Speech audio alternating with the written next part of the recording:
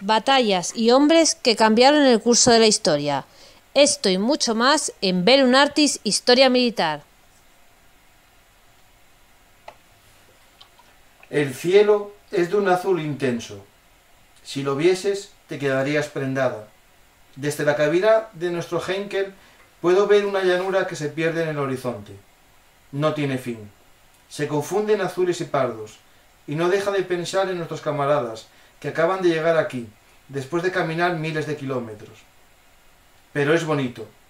La ciudad se asienta en la orilla occidental, como una larga mancha junto al poderoso Volga, pero me da algo de pena, porque lo vamos a convertir en escombros.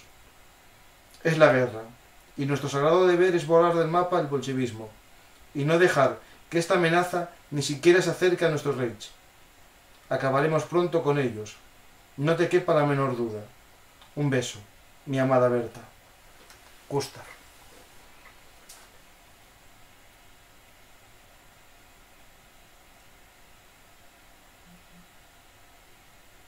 Soy Francisco Campa y estas son las historias habladas de Belum Artis Historia Militar, el lugar de encuentro de los apasionados de la historia militar. Hoy viajamos por el río Volga no en un crucero turístico, sino junto con las tropas de la Wehrmacht y del Ejército Rojo para conocer la batalla de Stalingrado y el punto de vista de los soldados en las cartas desde el Volga. Para ello contamos con la ayuda de nuestro amigo Daniel Ortega. ¿Qué tal, Daniel? Hola, Francisco. Encantado de estar una vez más. Bienvenido de nuevo a tu casa, eh, que ya eres eh, uno de los del club, el club Belungartis. Eh, si esto fuese un programa de televisión de prime time, ya tendrías la tarjeta de platino del programa, pero algo tendré que apañar para vosotros eh, ahora que empezamos a, a tener algún movimiento económico, podremos tener un detalle con los más habituales, ¿no? con los que me ayudasteis hace tiempo en un proyecto que se llamaba Belungartis Podcast y y Daniel, tú fuiste uno de los primeros en venir a este canal de directos de YouTube. Y bueno, eh, te voy a coger cita para la siguiente vez, ya como el peluquero, ya vamos cogiendo cita. que esto es como la peluquería más de moda que encuentres en cualquier ciudad, que ya tienes que pedir cita para el siguiente corte de pelo. en tu caso... Te iba a decir que, en tu caso... decir que para, para, el peluquero en mi caso está jodido, ¿eh? sí. no, no, lo decía, no, no, lo decía mal, ¿eh? Pero bueno, podemos, podemos ir como Decíamos a la barba, sí, a afeitar la barba, tú tranquilo. Por ejemplo. eso sí, eso sí, ahí, te doy la, razón porque para la barba soy un poquito baguete, ¿eh? las cosas como son. No, no, hay mucha gente que va a la barba, ¿eh? o sea, tú tranquilo. Eh, de hecho, mira, de hecho en Stalingrado muchas de las fotos que, que encontramos son de soldados alemanes con barba, que en el resto de, de frentes no se ve esas escenas y aquí sí se ve a muchos soldados con barba, porque claro, no tienen un acceso fácil al agua, aunque estaban al lado de un gran río y sí que se ve esa, escena del soldado ¿no? con la barba, que era poco habitual en los soldados de la Segunda Guerra Mundial. Hay muy pocas fotos de soldados con barba. Sí. Pero veremos por qué a lo largo de este programa, que en principio lo, hemos planteado eh, siguiendo un poco el proceso de creación de, una obra gráfica que realicé hace años con el gran dibujante Antonio Gil. Eh, y bueno, lo vamos a ir viendo un poquito eh, esa aproximación a la batalla de Stalingrado porque es imposible en cuestión de una hora, hora y cuarto, hora y media abarcar una batalla que duró eh, unos 200 días. Estamos hablando de una batalla que duró cinco meses, una semana y pico. O sea, es algo inabarcable en cuestión de, una hora. Por lo tanto, sí que vamos a ver algunas imágenes de estos soldados. algunas pues, eh, hemos podido rescatarlas de algún archivo o, que están eh, en lugares que, pocas veces el público generalista puede acceder a ellas. Y lo que nos va a llamar la atención, efectivamente, Francisco, es un gran apunte para comenzar esto, es el deterioro físico que van a presentar, sobre todo los soldados alemanes en esta cruel batalla de Stalingrado, la más, la más cafre, la más sangrienta de toda la Segunda Guerra Mundial. Daremos la explicación de por qué esa imagen tan, tan lamentable que presentaban, eh, en especial los soldados alemanes. Sí.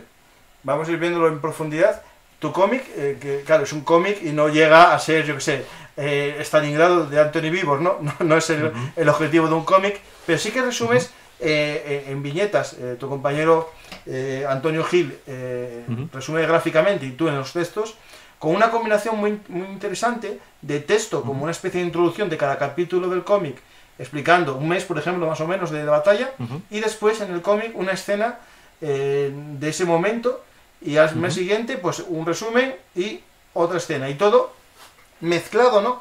Con cartas de esos soldados que mandan a sus familias explicando un poco eh, lo que sucedía. Yo eh, el problema de estas cartas es que la gran, eh, la gran parte de las que se publican están muy fraccionadas porque la censura militar taponaba todas, Entonces a lo mejor es muy difícil encontrar una carta completa. Sí, sí, hemos, hemos jugado con esa fórmula, como bien decías, nuestra, nuestra pretensión junto con, con, los editores de la esfera de los libros, eh, que desde aquí les mandamos un, un, fuerte abrazo por apostar por este proyecto. Em, que la verdad, eh, tres años después, bueno, ya vamos camino del cuarto año, desde su publicación siguen promocionando y se sigue viendo en las estanterías de, librerías como, como un cómic de referencia desde el punto de vista académico, sobre todo para, para ese público juvenil, ese público más joven. Eh, que está iniciándose en estas temáticas bélicas y en concreto de la Segunda Guerra Mundial, pero que también eh, ahí están los comentarios de, muchos eh, seguidores, de muchos lectores ya eh, que peinan canas, ¿no? que, son habituales a los libros de historia, a los, a los típicos ensayos, estos ladrillos, ¿verdad? Enormes, estilo el de Anthony Vivor o otros, otros grandes escritores y que nos han dicho que han revivido la, batalla de Stalingrado de otra forma, más visual, por supuesto, porque para eso es un cómic. Y lo que hemos buscado es jugar mucho con unos testimonios que hemos podido recopilar eh, también hemos tenido información que nos han mm, cedido desde la actual Volgogrado, antigua Stalingrado, eh, gracias a los contactos que, hemos podido establecer allí en su día. Y por supuesto, por supuesto, algo que nos interesa mucho, que son las fuentes primarias. Eh, algunas de esas cartas, como, como bien decías, Francisco, trascendieron más allá de la censura porque igual un camarada que recogía las pertenencias de otro soldado muerto, eh, pues pudo llevarse esa correspondencia a, su familia, que es algo que se hacía habitualmente en cualquier ejército, ¿no? Eh, llevar esa correspondencia que coges de un camarada muerto y se lo entregas a, su familia incluso en persona. Pues eso, eh, por ejemplo, nos ha servido para, para abrir cada capítulo una carta que luego, como, como, bien comentabas, en la contrapágina hay una explicación más académica, que esa, pues bueno, siempre es la de mayor gusto para los, los más adictos a los, a los, ensayos históricos, pero para ese público más juvenil, juvenil o, menos ducho en, este tema, pues bueno, se va a ir dando cuenta de cómo sucedió la batalla eh, capítulo por capítulo, porque lógicamente luego en cada página que acompaña a esa, a esa primera carta y a ese texto más académico, pues el, lector se va a meter de lleno en la batalla de Stalingrado grado. Eh, sí que queremos, y así lo hemos puesto en la, en la nota de introducción, como descargo para, nosotros y también para la editorial, que eh, en un volumen de ciento y pico páginas que hemos eh, preparado, Antonio y yo, es literalmente imposible recoger todo lo que fue la, batalla de Stalingrado. Por eso nos hemos centrado en, una compañía, en concreto en un pelotón y en concreto en uno de sus integrantes que va a ir interactuando con, con varios eh, miembros de esa compañía, como te puedes imaginar, que poco a poco va a quedar diezmada, hasta los ¿eh? últimos, vamos, se van a quedar cuatro gatos, cuatro gatos y, poco más, ¿no? Y, básicamente, pues eh, la idea del cómic es ilustrar a, los lectores, sirviéndonos de eso, de un prototipo de soldado que, bien pudo llegar hasta el final de la batalla y, veremos cómo es el desenlace. lo, hemos comprobado en los libros de historia, pero el lector aquí va a ver el desenlace de una historia como pudo ser la de un soldado alemán cualquiera en la batalla de Stalingrado, pero también, por supuesto, eh, hemos tratado eh, las, vicisitudes de los combatientes soviéticos. Incluso hemos hecho que los soviéticos, que los rusos, hablen en ruso, traducido al cristiano, gracias a la ayuda de algún eh, contacto de Antonio que nos ha hecho de intérprete. Al cristiano, que, en teoría es el alemán, que también es como... También, también. Para mí, como el otro casi. Nos pasamos del ortodoxo al protestante. Total. Malos cristianos, como dirían en el, siglo XVI. Eh, de hecho, eh, el cómic eh, que se llama Stalingrado, la historia gráfica, publicado por Esfera de los Libros, tuvo éxito internacional, ¿no? Y tenéis una versión en inglés. Sí, sí, es cierto. Eh, gustó tanto mm, eh, en alguna editorial eh, más de corte académico en, Estados Unidos, en concreto Death Reckoning, que trabaja para el Instituto Naval Americano, que es una de esas instituciones en Estados Unidos que se encarga de hacer divulgación histórica de, de, una forma mucho más académica, pero que también tienen una pequeña línea de divulgación de historia militar a través de las obras gráficas, como, como puede ser pues esto, un cómic, una novela gráfica. Y la verdad que estamos muy agradecidos a, a Death Reckoning eh, que lógicamente, salvo el traductor de la obra al inglés, pues no sé si nos entenderán mucho, pero desde aquí les quiero mandar un fuerte abrazo por creer en este proyecto y por imprimir eh, miles de ejemplares. No estoy hablando de cientos, porque esta obra, tanto en España como en, países de habla inglesa, pero principalmente en Estados Unidos, eh, han logrado imprimir miles de ejemplares y bueno, no podemos estar más agradecidos por, por todo su trabajo. Pues que llegue la historia vista desde los ojos de dos españoles sobre la batalla de Stalingrado en Estados Unidos es algo que te, tiene que llenar de, bueno, de, felicidad. Yo como escritor me sería la mayor ilusión, ¿no? Pues eh, tenemos la suerte de estar contigo, Daniel, que aparte tienes unos conocimientos amplios de, la Segunda Guerra Mundial, porque es el objeto de todas tus novelas, y, yo creo que lo que podemos lograr es dar a conocer un poco Stalingrado, como hicimos con la batalla de Berlín, o el, o el cruce del Volhov hace poco, y que la gente bueno, y también tu libro sobre las escuadrillas azules, que es una novela ya también, más, digamos, más, digamos, eh, como 20 cómics de estos, 30 pilados. y más ensayo novelado. y, además es tipo ensayo, justo. Pues vamos a intentar viajar en el, en el tiempo, ¿no? Y meternos en, en, las botas de un Lancer, ¿no? De un soldado alemán que se va a meter una buena pateada para llegar hasta Stalingrado.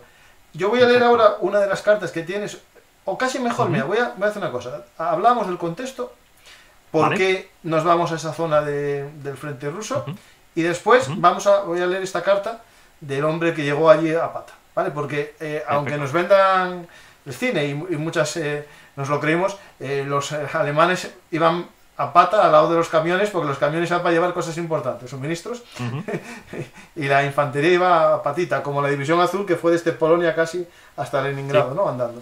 Sí, sí, sí, pues bueno, estamos en un contexto, la verdad que bastante interesante, porque fíjate, Francisco, que tú también tienes muchos conocimientos sobre el ejército alemán y, y del ejército rojo, por supuesto, pero fíjate lo curioso que mm, estamos en, en este caso, ya hemos pasado de esa operación Barbarroja, ya ha pasado el año 1941 y ahora nos encontramos en la primavera del 42, cuando empieza la nueva campaña de primavera, que en este caso pone en marcha eh, la Wehrmacht, ¿vale? Eh, este, en este caso lo han adelantado un poquito, visto el percal del año pasado, el año 41, han dicho, bueno, vamos a adelantarlo unas semanas más por si acaso, pero bueno, vimos que luego pues tampoco eh, fue muy exitoso el resultado, porque a la postre pues eh, la gran contraofensiva soviética de la que luego hablaremos, pues eh, llevó al traste las intenciones eh, de, los, de los alemanes. En este caso, como bien apuntabas, Francisco, los, los, alemanes tienen que hacer una incursión a lo largo de, una línea del frente que en ese momento puede estar midiendo tranquilamente del orden de 1.500 a 2.000 kilómetros desde el Mar del Norte hasta, hasta, el Mar Negro, que se dice pronto,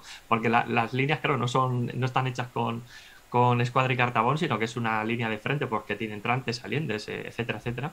Y en este caso, pues eh, solamente hay que fijarse cómo baja en línea, ya digo, así un poco irregular, sobre todo en algunos sectores eh, vadeando los propios ríos que marcan esas diferencias entre posiciones soviéticas y alemanas. Y tenemos un contexto muy interesante porque los alemanes saben eh, que sobre todo el, alto, el Estado Mayor de, la Wehrmacht y, demás, pues saben que si son capaces de meterse más allá de Crimea, en esos pozos petrolíferos más allá del, Mar Negro, pues tal vez, tal vez, a lo mejor, si, toman el control de, poblaciones o de áreas como la de Maikop, eh, pueden estrangular el flujo de combustible de todo el ejército rojo. Y estamos hablando de un porcentaje que según fuentes pues dicen que podía haber sido eh, vamos, los alemanes si hubiesen cortado ese grifo podrían haber privado de entre el 70 y el 80% del, del petróleo al ejército rojo. Ya digo que las fuentes varían un poquito, ¿no?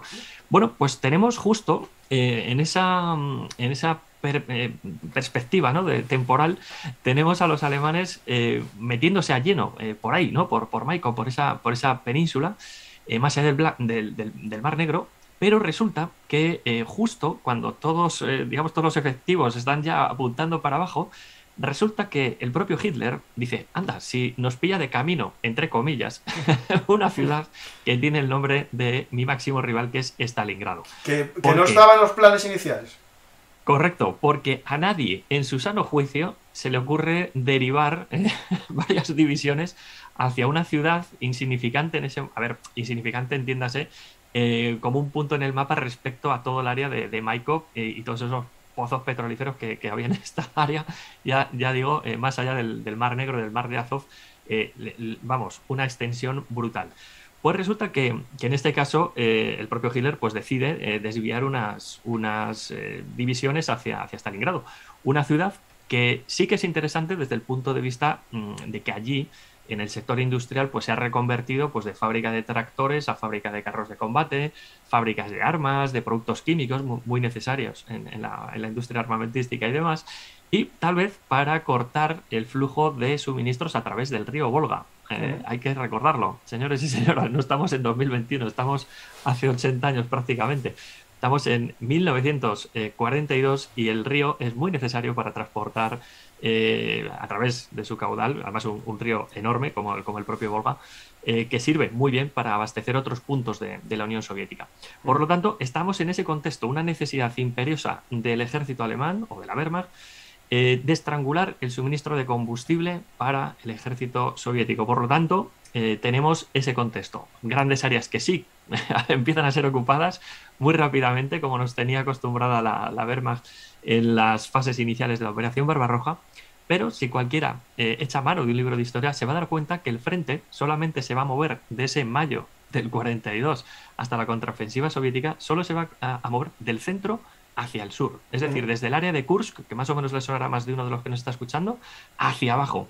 El resto va a parecer prácticamente inmóvil a lo largo de todo este 1942. Por lo tanto, nos estamos moviendo ahí, en una ciudad insignificante desde el punto de vista de toda la operación de control de esa península más allá del mar de Azov y del mar, Negro. De hecho, eh, eh, siempre bueno, en muchos libros se, plantea el debate, ¿no? ¿Qué hubiera, qué hubiera sido si eh, este, este verano, en vez de atacar esta zona sur en busca del petróleo, ¿no? Se hubiese atacado directamente otra vez Moscú, ¿no? Es decir, que era el, el, dilema, ¿no? Es decir, ¿qué hacemos? Un ataque directo a la, a la, cabeza de la serpiente, ¿no? Pero, eh, bueno, el que sabía algo de historia y los alemanes sabían algo de historia, eh, Napoleón había tomado Moscú, había dormido en el Kremlin y no le valió para nada, o sea, porque con la grandeza que tiene Rusia no se toma así tan fácilmente ese territorio, ¿no? De hecho, el, el objetivo de la operación Falblau, ¿no? esa operación azul, que es ese giro hacia el sur en busca de los pozos eh, petrolíferos del Cáucaso, pero también, en el fondo, poner en peligro la zona de Irán y del Golfo Pérsico, por esa zona, y intentar que los iraníes, por lo menos, los iraquíes, perdona, se rebelasen contra los ingleses, que había hay eh, negociaciones muy potentes en ese aspecto, y poner también en manos del Reich eh, todo lo que es del Reich, todo lo que es eh, los pozos petrolíferos de la zona de Irak, del norte, que sería la actual, eh, lo de los Kurdistán, ¿no? la zona de los kurdos, que es donde hay los mayores yacimientos. Al final es una lucha por el petróleo. ¿Qué sucede? Que hay, muy bien dijiste que, que Hitler, no sé, hay autores que dicen que se empecinó un poco con la ciudad del Volga por el nombre que le habían dado de Stalingrado, ¿no? que era la ciudad de su enemigo, y ahí iba a ser donde se iba a producir el choque eh, definitivo ¿no? de los dos enfoques, ¿no? esa lucha por la supervivencia o la existencia que era como lo planteaba el, nazismo. ¿no? pero es cierto también que no se puede negar que Volgogrado, ¿no? Eh, posterior a Stalingrado, era una de las ciudades fabriles más importantes de, Rusia, sobre todo en tractores, que se había hecho para... Y claro, de tractor a tanque solo hay la chapa que metas. Nada, cambiar cuatro cosas. Exacto. Muy bien, sí. Eh, tenemos eh, desde el punto de vista, hemos dicho que, operacional o a gran escala, pues bueno, es una ciudad más, pero eh, hay que tener en cuenta que, que, Stalingrado, como he apuntado un poco al principio, es muy interesante desde el punto de vista de producción. Y estamos hablando que es una ciudad donde hay decenas de miles de personas trabajando en estos complejos industriales. seguro que más de uno de los que nos está escuchando, cuando empezó la, la operación Barbarroja, eh, muchas fábricas, literalmente, lo que hacen los rusos es eh, desatornillar las máquinas que tienen clavadas al suelo y se las llevan a, los Urales o más allá, ¿no? Bueno, en Stalingrado todavía no se había producido eso, porque era se, entendía un punto eh, relativamente seguro en ese mayo del 42, pero hay amigo, la cosa se empezó a complicar cuando, eh, en este caso, uno de los grupos de ejércitos, el grupo de ejércitos B, eh, se aproxima a las puertas de, Stalingrado y hay otra división de otro grupo de, ejércitos, el A, que, va a ir a hacer, hacer, ese giro hacia el sur, como, como bien comentábamos. Eh, lógicamente no tendría sentido eh, mantener una línea del frente, pues como hemos dicho, en esas eh, ondulaciones de la línea del frente eh, estático y solo lanzar un grupo de ejércitos a, controlar la península sin fortalecer el flanco, porque si no lo que estás poniendo en peligro es a un montón, a un montón de divisiones que pueden quedar embolsados si el propio ejército rojo pues intenta enlazar, pues por ejemplo, en, la ciudad de Rostov, ¿no? ya en el, mar de Azov. En este caso, bueno, tal vez a lo mejor Hitler, pues mucho más allá del, significado de tomar la ciudad de Stalingrado, vamos a imaginar que quisieron también los alemanes decir, bueno, pues vamos a cortar el flujo de suministros a través del Volga y, interrumpir la, la, fabricación de armas, de, yo qué sé, pues de carros de combate, etcétera. Eh, vamos a asegurar también el, franco, el flanco de ese avance hacia el sur. Bueno, podríamos verlo desde ese punto de vista también, ¿no? Pero es, muy curioso porque al principio la ofensiva eh, va muy pegadita a Rostov, sí que se mete un poquito hacia el este, en dirección a Stalingrado, pero no tan exagerado, ¿no? Como sí se va a hacer en esa fase final ya eh, de cara a finales de, agosto del, 42. Aquí, Daniel, lo que se produce, claro, cuando estamos viendo un poco Stalingrado, ¿no? Eh, nosotros nos fijamos en lo que es el asedio, ¿no? Pero realmente es como una punta, ¿no? Está haciendo lo que se dice una cabeza de playa, ¿no? En, todo el frente enemigo. Y claro, esto, se produce como un saliente, ¿no? Es decir, o un entrante. El frente ruso sería un entrante que a los alemanes les gustaba mucho esta opción cuando los, eh, pasaba con los enemigos, ¿no? Cuando un enemigo penetraba en sus líneas o lo rodeaban y quedaba como un entrante, hacían la famosa envolvente, ¿no? Y el, y el caldero, ¿no? Para hacer una, una bolsa. Que ya vimos, nosotros tenemos, por ejemplo, un, programa sobre el tema y, eh, y, es interesante un poco todos estos eh, temas de, de, cómo los alemanes no rodeaban a los enemigos en Ucrania, en las grandes bolsas, que en el fondo se están metiendo ellos en la bolsa. Porque, sí, correcto. Que veremos después. Pero, claro, es lo que tú bien dices, eh, el objetivo, claro, si lo vemos desde un punto de vista, como es imposible un avance de todo el ejército porque no hay capacidad eh, humana ni logística de hacer un ataque desde de Kurs hasta, hasta el Mar Negro en línea, o sea, una línea perfecta, se concentran las tropas del sexto ejército de Paulus, ¿no?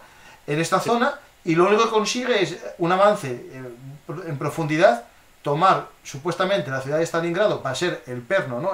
la columna del avance hacia el sur y fortalecer ese, ese entrante, o, saliente, pero como lo queremos ver, eh, para que los, eh, los, soviéticos no, no les hagan la bolsa. Es lo que es el objetivo.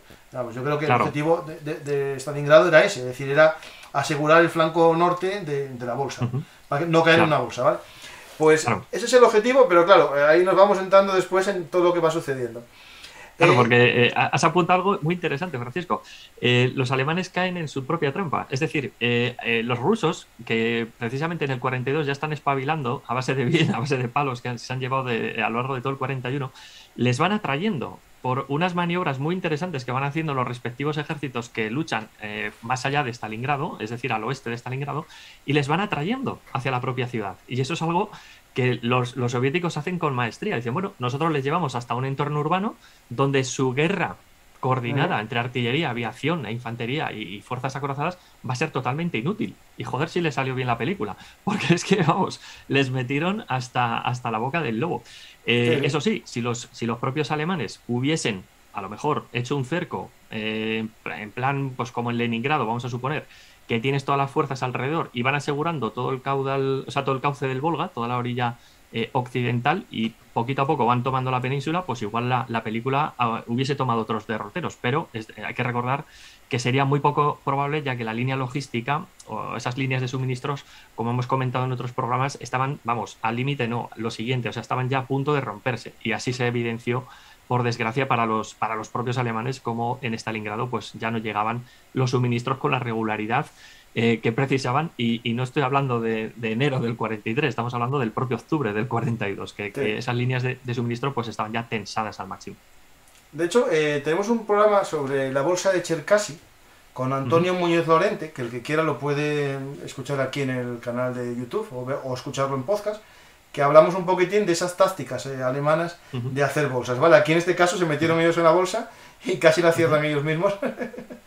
Eh, pues eh, vamos a ir viendo un poco ese problema de logística, que es un problema que es fundamental entender a la hora de comprender ¿no? la Segunda Guerra Mundial en el frente oriental. Es decir, eh, los tamaños que tiene este frente, hablamos de 2000 de, de, frente de batalla, pero claro, ¿qué distancia había de este, por ejemplo, Stalingrado hasta Rumanía? A lo mejor estamos hablando de 1500 kilómetros en línea, en línea que, claro, que va por, por carreteras secundarias que no existían caso. Cuando hablamos de infraestructuras en Alemania, hablamos de las autobahn, ¿vale?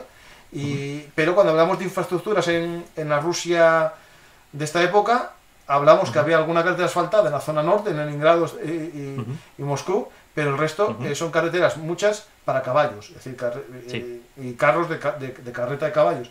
Por lo tanto, eso a la hora de hacer un avance, eh, en unidades, por ejemplo, blindadas, no las puedes llevar campo a través todo el rato porque machacas las orugas. Los camiones, que era otro, otro hándicap que tenía el ejército alemán, porque eran camiones requisados, casi todos, a todos los países que conquistó, por lo tanto, ni, había piezas de recambio. Y ahí se produce la tercera paradoja, ya dejo de decir paradojas, cuando eh, un camión gasta más gasolina de la que lleva para suministro. Es decir, un camión cisterna gasta la cisterna entera para poder llevar nada al, enemigo, ¿no? o sea, al amigo. Por lo tanto, eh, tenemos el problema ahí muy grave en cuanto a la logística, que es fundamental, porque veremos después al final el tema de logística. Voy a leer, eh, Daniel, una de las cartas de tu libro, que habla un poquitín de todo lo que tuvieron que andar estos hombres para llegar a, la ciudad del Volga, ¿no? A las orillas del Volga, a verlas a Marchamos por la mañana, marchamos por la tarde, cae la noche, y seguíamos marchando. No sabemos dónde están los camiones o los tanques, quizás muchos kilómetros más adelante, no sé. Estos caminos son largos y terribles. Los carromatos atascan en, en los baches y las mulas se encabritan por el polvo seco y respirable y no paramos de marchar. A veces me duermo cuando camino. Mi camarada Erich me golpeó en el casco para despertarme. Estuve a punto de caer en una zanja. Es decir, mm. esto es lo, un día tras otro, porque claro, eh, en las películas siempre vemos enemigos, pero la realidad que los enemigos estaban ya en la zona del Volga y el avance fue por tierra a lo mejor con muy poca oposición. Es decir, Sí, sí, sí. Eh, tú fíjate, es que además el, veterano en los textos, el, alemán o en este caso, pues que está llegando hacia eh, un, destino concreto, que es la ciudad de Stalingrado, eh, llega derrengado.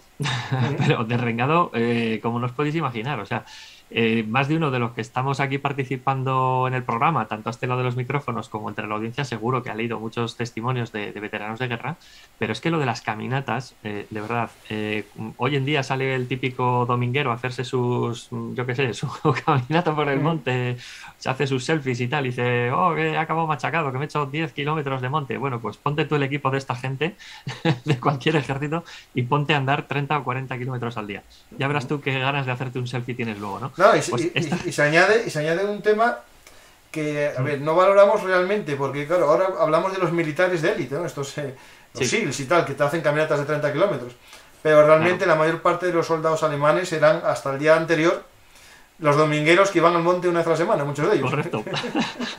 es que eso es la máxima experiencia que habían tenido con las caminatas, ¿no? Claro, claro. alguno, eh, pero insisto, tanto alemanes como americanos, como rusos o franceses o el que tú quieras, ¿no? O sea, no estaban entrenados para, para este tipo de guerra con, unas profundidades en los frentes, pero, pero de cientos de kilómetros. Esto era una auténtica barbaridad. Entonces, estos soldados, poco a poco, eh, tú puedes hacer un seguimiento de, algún soldado pues a través de sus fotografías, les ves cómo van perdiendo eh, peso, cómo cada vez pues su, su, cuerpo sí se queda muy definido, ¿no? Porque es que no tiene una gota de grasa, porque es que eh, la dieta que tienen que consumir, que pues imagínate para un adulto eh, normal que esté combatiendo en el frente se calculaba que podía estar en torno a las 2.000 calorías, 2.000 y No, 3.000, 3.000, eh, ¿por qué 3.000?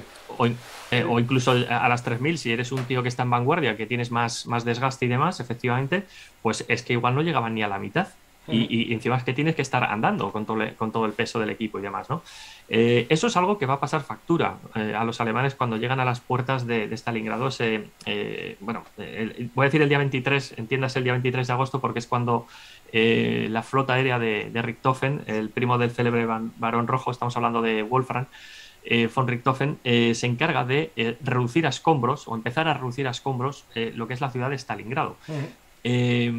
los alemanes eh, fíjate, eh, Francisco, no llegan allí dándose un paseo, sino que eh, van a estar expuestos en todo momento a la acción de, partisanos o de unidades del Ejército Rojo que se han quedado por ahí dispersas y que, bueno, pues en vez de rendirse, pues dicen, bueno, pues vamos aquí a intentar hacer la puñeta hasta que nos liquiden o nos hagan presos, ¿no? Es un poco la, filosofía que tiene. Y, esto también va mira, minando psicológicamente a los, a los soldados que ven que están caminando un día, otro día, semanas, incluso un mes, hasta que llegan por fin a las afueras de, de una ciudad industrial que ya prácticamente ellos la ven eh, envuelta en llamas y, soltando humo por todos los lados. De hecho, las unidades de vanguardia de, los, de las tropas acorazadas, de los carros de combate eh, alemanes que llegan de las primeras unidades eh, que, se están coordinando ¿no? pues con, con, las tropas aéreas, vamos a llamarlas así, ¿no? con las tripulaciones de los, de los aviones, están diciendo que bueno, que qué está pasando allí, que cuándo les van a dejar pasar, que aquello no, no debe quedar, vamos, ni Dios allí dentro de la que se está preparando, ¿no? Para su sorpresa, pues luego se, llevarán un, susto garrafal.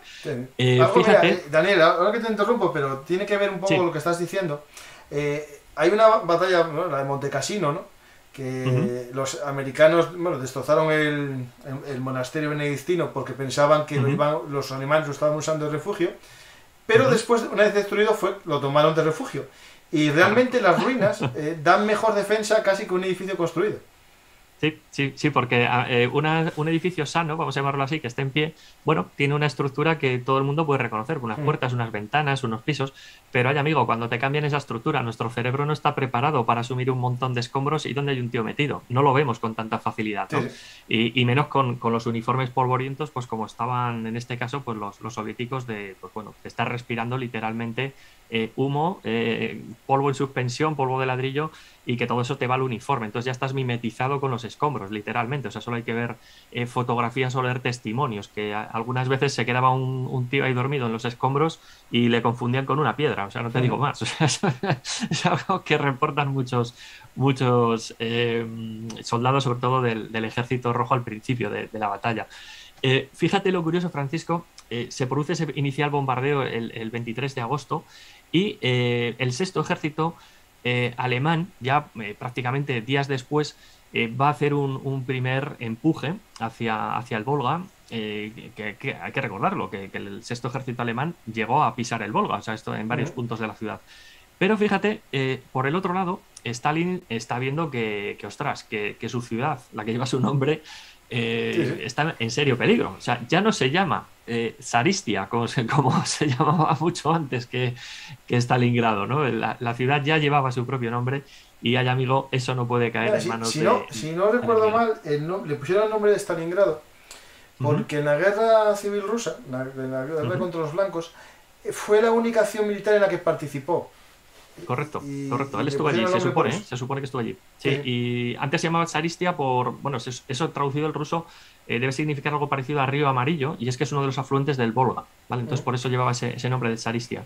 Eh, bueno, Stalin ve el percal que se, le cae encima, prácticamente delante de las narices, y decide mandar a uno de sus enérgicos generales, en este caso hablamos de, Zukov, ni más ni menos.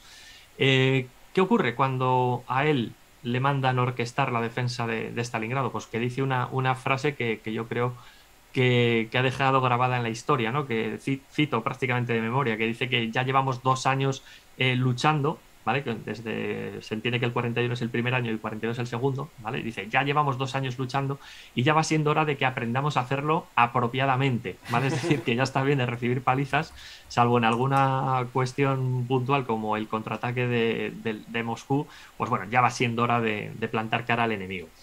Eh, hay como, como bien decías en la carta, eh, en principio muchos de los soldados pensaban que iban a llegar allí a Stalingrado y, visto vista la situación en otras ciudades, pues bueno, muchos de ellos pensaban que igual en cuestión de un par de semanas, tres semanas, un mes a lo sumo, pues la ciudad iba a caer. Eh, hay que pensar que la Segunda Guerra Mundial, en contra de lo que nos han presentado muchas veces en documentales y películas y demás, eh, lo normal es que las batallas fueran a campo abierto. O sea, las ciudades sí, se, producían batallas, pero no era lo, habitual, ¿de acuerdo? Lo digo porque eh, en la Primera Guerra Mundial todo el mundo tenemos ahí mm, la mente metido, pues eso, el cuerpo de un soldado ahí en una trinchera llena de barro y a correr, ¿no? Pero también hubo eh, batallas en las ciudades y en la Segunda Guerra Mundial igual, también hubo trincheras, lo que pasa es que no tan masificadas como en, la, Primera Guerra Mundial, pero en este caso las batallas en las ciudades pues era algo habitual entre comillas, pero, pero no tanto como nos han hecho ver en, los, en los, documentales. A ver, la ciudad es el peor escenario para un ataque, eso está claro. Exacto, exacto. Entonces, en este caso, los, soldados alemanes, como, bien has comentado en esa carta, eh, llegan a pata, llegan derrengados, se toman una pausa, entre comillas, para tomar fuerzas, eh, mientras la aviación se dedica a machacar sistemáticamente eh, toda la ciudad e incluso las propias fábricas. De hecho, de hecho, yo recuerdo haber leído en, algún documento, tanto de archivo como luego en algún libro que ha publicado pues alguno de estos autores más famosos, eh, recuerdo que el propio Richthofen, el propio Wolfram von Richthofen, jefe de toda la flota aérea que está por ahí presente, eh, tiene que amonestar a varios pilotos de sus Stukas y de otros aviones que están por ahí porque se dedican a hacer cabriolas allí con los aviones por el aire, a, lucirse, básicamente. Eh, en vez de, pues bueno, de machacar todo, pues bueno, se dedican a hacer cabriolas para lucirse y, dirán, bueno, y muchos de los que no están escuchándole ya, pero lo que dice este, este tío está loco, ¿qué? No? Eso está recogido, de verdad, en documentos y en libros, y lo hacen y se permiten el lujo de hacerlo porque la defensa aérea la han triturado. Allí ya no hay Dios que, dispare algo contra los aviones. Entonces tienen la soberanía absoluta en los cielos de Stalingrado. La mm. caza que aparece de vez en cuando, pues bueno, tienen cierta superioridad en algunas fases de la batalla y lógicamente pues, pues dan buena cuenta de ella y allí no hay Cristo que se arrime a Stalingrado durante unas cuantas semanas. Mm. Pues tenemos eh, ya eh, al ejército de Paulus, que no hablamos todavía de Bon Paulus, que realmente el Bon es un añadido, no es de prusiano ni tenía origen noble, pero bueno, se quiso ennoblecer, ¿no? Sí, eh, Paulus en sí, vamos, yo nunca me refiero a él con el Bon porque no, no, no viene así, ni en su partida de nacimiento, ni en ningún documento, o sea, es, un Paulus normal a secas. él se va a encontrar con, con, una batalla, mm, yo creo que para la que no está preparado, ¿vale? Porque él es más un oficial de, digamos, de cúpula militar, de, los altos estamentos, es un buen planificador, si cualquiera que se lea su, biografía. Eh, Stalingrado, y, yo, yo la, tengo y es hmm. muy interesante. Por ejemplo, eh, esa es una que, iba a recomendar, pero vamos, hay, otras tantas eh, ajenas a su propia firma, por supuesto, hmm. eh, que nos lo describen como un gran oficial, pues eso, de planificación, de estrategia. Más que de táctico, es más de estrategia. Eh, incluso bueno con la logística. O sea, es un tío que pensaba a gran escala, pero que tal vez eh, a nivel quirúrgico, como sí que podía ser a lo mejor un, Rommel que era más estratega, eh, no estaba tan, tan dotado para, liderar el mando. De hecho, muchas veces en el, propio Estado Mayor de, de, Paulus, pues, pues tiene que tirar de otros oficiales con más experiencia en el propio campo de batalla porque él eh, no llega, no llega a, tener esa sangre fría, esa, lucidez que a veces requiere este, este puesto. ¿no? Estamos hablando de un tío que está manejando eh, un, ejército, el sexto ejército alemán. Estamos hablando de alrededor de 300.000 tíos, aprox, ¿eh? con, entre alemanes y aliados. O sea que estamos hablando de, una fuerza de combate bastante seria, con, fuerzas acorazadas, con, infinidad de escuadrillas para bombardear, para, para hacer eh, trabajos de protección aérea, etcétera. ¿no? Entonces, para mí, eh, Paulus, insisto, cada uno que tiene, tendrá su opinión, pero seguro que tras el análisis de la batalla se va a dar cuenta que como estratega es muy bueno, pero, eh, perdón, como, como táctico, como logístico, como, como de alguna, sí, como estratega, pero no como táctico. ¿vale? O sea, siempre hay que ver a, Paulus más el estratega, el cerebro, el que piensa, el que pergeña una operación. De hecho, es uno de los que está detrás de la operación Barbarroja. esto no hay que olvidarlo. Pero en Stalingrado eh, se, necesita un general más quirúrgico, alguien que sepa más de táctica. Y él, por ejemplo, no, lo, no va a ser, yo creo, por lo menos el perfil más adecuado. Claro, es que batallas urbanas, bueno, en Kiev hubo batalla, pero muy poca, porque se marcharon rápidamente al comienzo de la batalla. Realmente no hubo muchas en la Segunda Guerra Mundial hasta este momento. O sea, a gran escala, estoy yo pensando, en Francia no, en las ciudades belgas se rindieron antes del combate urbano en Polonia, en Varsovia hubo algo en las afueras, pero no hubo combates durante días en el centro. Eso es. cierto, claro, es que es un bautizo casi de la guerra urbana. Claro, claro, es que estamos hablando de que la, la Wehrmacht está acostumbrada a llegar a una ciudad y que no haya nadie, o que se hayan pirado, o que la defensa sea residual. Están acostumbrados a, combatir a campo abierto, porque eso es lo que le interesa a la Wehrmacht, desgastar a sus enemigos antes de tomar una ciudad siquiera, ¿no? Y en este caso, pues, ay amigo, han caído en la trampa, les han metido de lleno, el 62 ejército ya está allí plantando cara a, la Wehrmacht y lógicamente pues a mediados de septiembre llega Chuikov y le dicen toma eh, cárgate de esto a ver qué puedes hacer y bueno ya tenemos eh, a ver hay una secuencia eh, en la película de Enemigo a las puertas insisto muy fantaseada en algunos aspectos. A mí me gusta más la, la de Stalingrado de los años 90 Eh, en este caso, la, la, película de Enemigo a las Puertas em, hace algo que es muy, muy curioso y que a veces el, gran público, pues hasta que no lo ha visto en una película, no es consciente, ¿no? De esa purga de oficiales que, se alienta desde la propia cúpula militar de Stalin, ¿no? Llega allí Chuikov con con Khrushchev y, bueno, pues dicen, ¿quién está al cargo de esta chapuza de defensa? ¿Fulano de tal? Pues que salga aquí. Y, le ponen una pipa allí en la mesa, pues ala, ya sabes lo que tienes que hacer. Pum, y se pega un tiro, ¿no? Se suicida. Y así pues va haciendo una purga con diversos oficiales que, bueno, pues eh, que han sido un poco tibios en la, en la moral a la hora de plantar cara en la defensa. Y sale ahí algún tío, si es que a mí me han matado la división entera, no sé pues da igual, mal lo has hecho, pum, ¿no? suicídate. o sea, es un poco eh, debacle, un poco esperpéntico todo lo que ocurre hasta la llegada de, de Chuikov. Pero eh, yo creo que el, papel interesante del 62 ejército y de otros que van a estar en el área más inmediata de Stalingrado fue hacer caer en la trampa al sexto ejército alemán. A partir de mediados de septiembre ya tenemos otro 62 ejército alemán que, bueno, con esa moral que va infundiendo eh, Chuikov, pues es otra película. Ahí, en el, cuando hablas un poco de la moral, ¿no? Y en las mm. escenas de cine, hay un, una orden, ¿no? Que es la de Orden 227, ni un paso atrás, ¿no? Stalin. De Stalin, en la que, bueno, eh, ordena, ¿no? Que, bueno, a ver si tengo aquí el texto un poco, espera, ¿eh? eh sí, es una, es una, orden que igual hoy nos puede llamar mucho la atención, pero es que hay que ver cuándo está emitida. claro, claro, fue justo para el, rojo. el día, espera, ¿eh? 22 de junio de 1941, cuando la debacle estaba en marcha y, y, a esa orden el mensaje era muy claro, había que luchar por la madre patria. ¿no?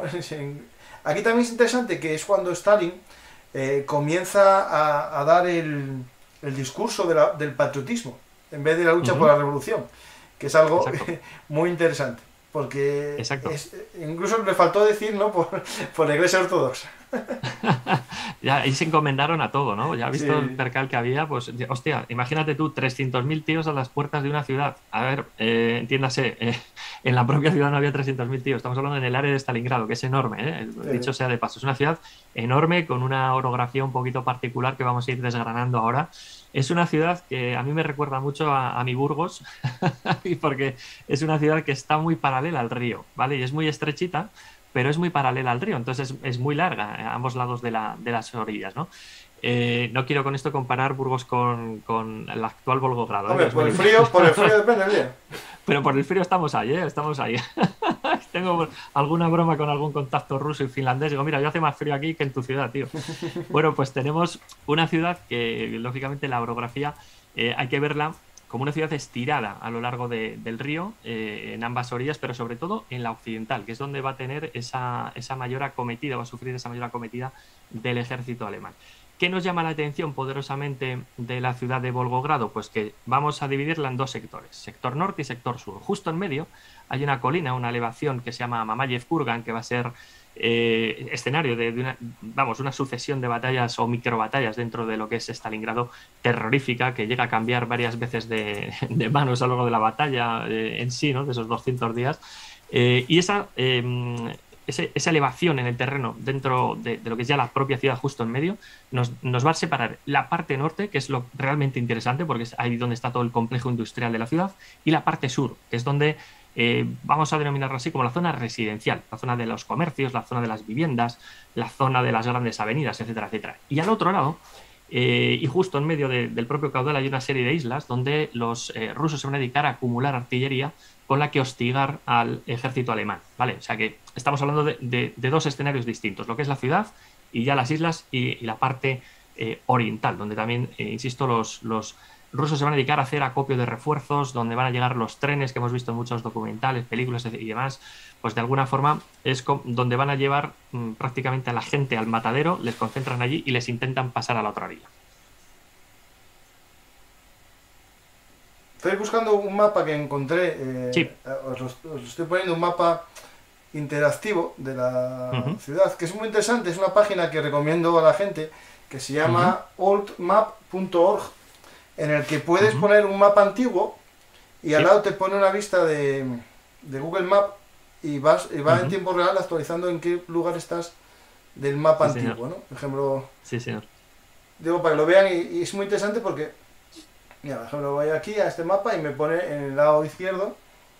Es que la gente no lo está viendo, espera un momento. Digo, esto que ya sé que no tiene que ver con el programa, pero sí que a la gente le puede interesar, y yo sé que le va a interesar a, la gente como tú y como, y como yo. Eh, tenemos aquí el mapa antiguo, ¿no? Y yo, por ejemplo, voy aquí a, zona Fabril, ¿no? Y me sale en el mapa de izquierda en qué zona estoy exactamente de, del actual Stalingrado. Eso es, porque es importante, es importante que la gente que nos esté escuchando hoy, eh, que si puede, a la vez que nos está escuchando comentar estas cosas sobre la batalla, que se haga con algún mapa, que lo pueda ver, porque eh, de verdad la ciudad es inmensa. Vamos a hablar, vamos a ir citando algunos puntos que están a kilómetros de distancia unos de otros, la, la ciudad es, inmensa. Em, si te parece, Francisco, eh, hemos visto ya esa aproximación del ejército alemán, hemos visto que incluso los, los propios alemanes ya han tomado eh, posiciones en la periferia de la ciudad, pero poquito a poco eh, se van a ir infiltrando, van a hacer ese empuje. Eh, sobre todo, hay un día determinante que es el día 24 de septiembre, donde los propios alemanes van a ir perforando en las líneas de defensa y se están aproximando peligrosamente al Volga. Incluso tanto en la zona sur de las viviendas como un poquito al norte de la zona de viviendas, van a llegar a poner los pies en la orilla del Volga. Y eso lo van a hacer varias unidades, ¿de acuerdo? Eso lo digo porque muchas, muchas veces que la gente dice, no, eso es imposible, no llegaron. Sí llegaron, porque les interesaba aislar al 62 ejército, por ejemplo, respecto al sur del 64 ejército, que podía acudir al socorro de, sus camaradas que estaban atrapados en la ciudad, por supuesto. Y eso es algo que, va a llamar poderosamente la atención en el mes de septiembre, ¿no? Cómo la Wehrmacht empieza a, concentrar efectivos, efectivos cada vez más cerca de, las orillas. Y, de hecho eh, el, día 1 de octubre prácticamente eh, toda la periferia ya ha caído en, manos de, la Wehrmacht y, y ya queda pues esa orilla más inmediata caracterizada por unas colinas muy escarpadas donde los propios rusos se van a dedicar a cavar madrigueras, pero al por mayor para meter ahí eh, a sus estados mayores de cada división del 62 ejército. El propio Chuikov va a tener allí eh, su, propio cuartel general, incluso Rokossovsky, que está a la otra orilla, que es el que está mandando todo, todos los ejércitos que están por el sector del, Volga. Eh, incluso va a cruzar en transbordador de un punto a otro para, visitar de, de, primera mano lo que ocurre en la ciudad. ¿no? Y es justo en ese, en ese octubre cuando ya han solidificado muchas de esas posiciones em, los, alemanes, pero va a llegar un día determinante que, va a coincidir con el capítulo 2 de nuestro, de nuestro cómic, ¿no? que es el asalto a las, a las fábricas, el asalto, el asalto, principal a la zona de las, de las fábricas. Lo digo por si quieres leer esa carta que tenemos ahí preparada. Ahí vamos. Del capítulo 2. A mí uno de los que más me gusta, ¿eh? del cómic, dicho sea de paso. Estaba buscando el mapa para que la gente viese un poco a vista aérea. Muy bien. Voy a poner de fondo una, imagen de una de las fábricas. Vale, esencial, esencial para los alemanes tomar las fábricas porque eh, para que se hagan una idea de la, de la, importancia de las fábricas para los, para los rusos, cada carro de combate que salía de, las fábricas casi sin pintar algunos claro, iba a luchar. De paso, iba a luchar. Incluso eh, se dieron casos de algunos operarios de las líneas de producción que no tenían, eh, permíteme, la expresión, no tenían ni puta idea de llevar un tanque, pero se metían y con la voluntad lo ponían en marcha prácticamente y salían a las calles a darse de palos con los, con los alemanes, algo ya dramático en grado sumo. Ahí vamos.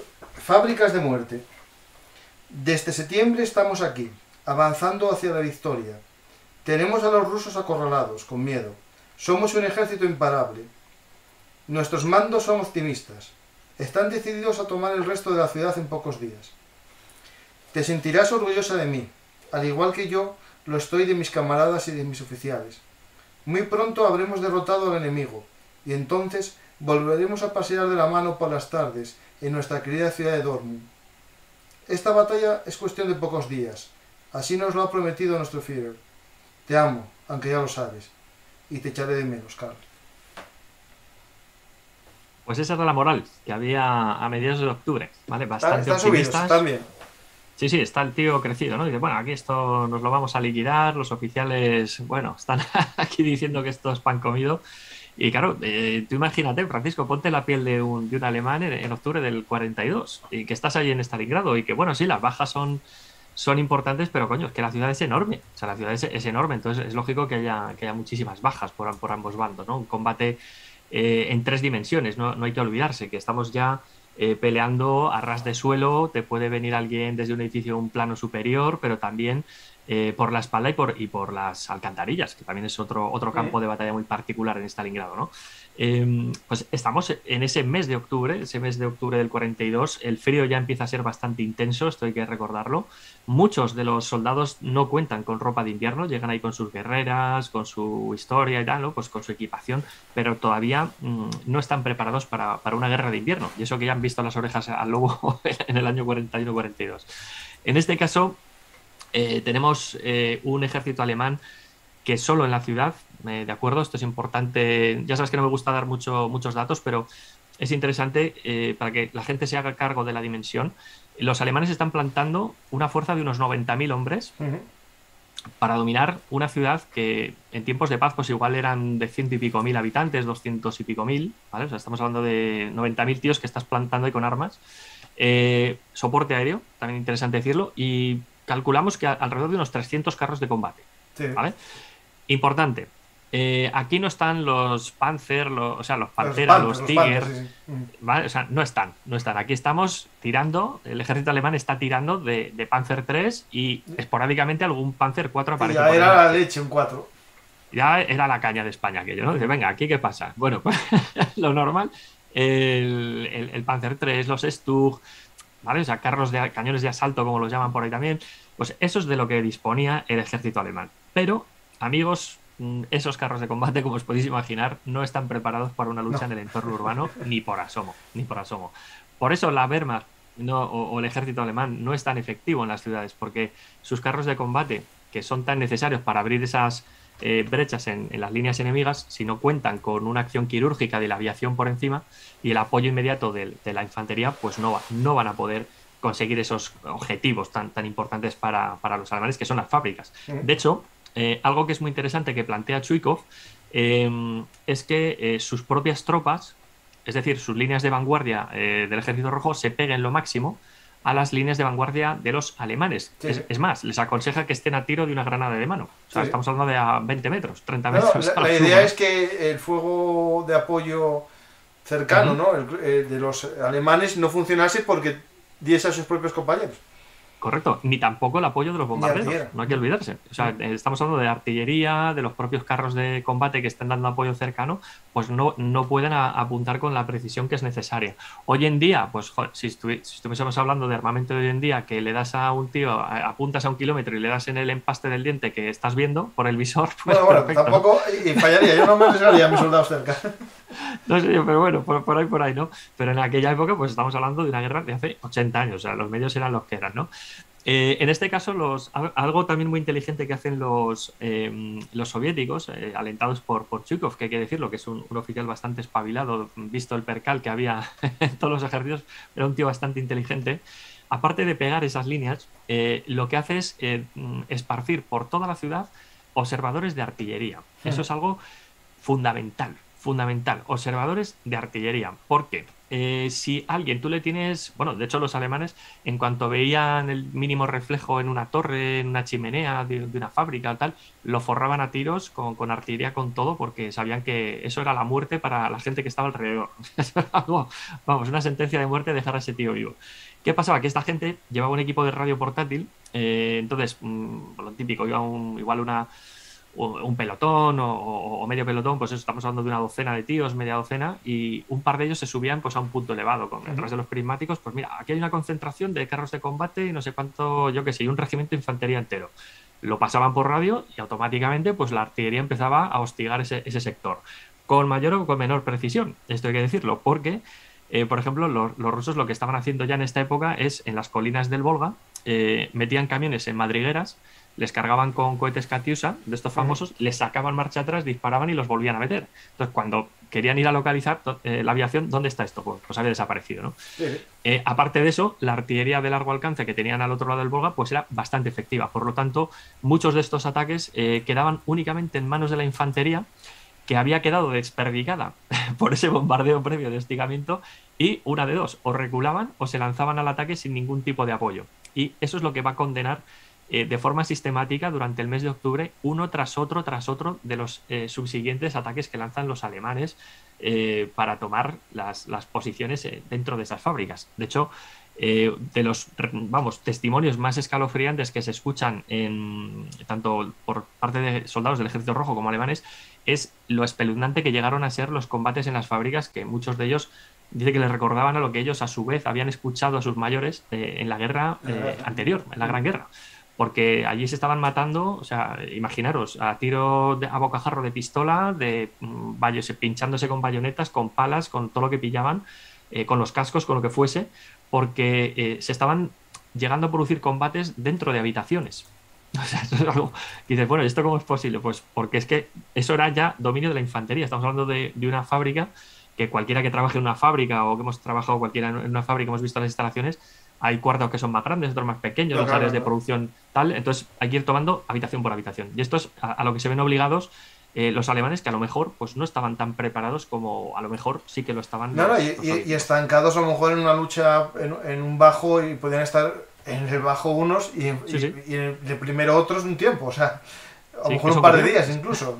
Sí, sí, sí. Y bueno, y de hecho en algunas viviendas eh, ya cuando lo peor de la, de la batalla, que lo iremos desgranando luego, eh, luego, en las fábricas ocurrió lo mismo, que igual tardaron en tomar una fábrica dos semanas y, que parece una, una, exageración, pero es que estamos hablando de los medios de la época eh, y, lógicamente pues los alemanes estaban en un sótano y los otros estaban arriba o viceversa, ¿no? Entonces eso es algo realmente, realmente frecuente.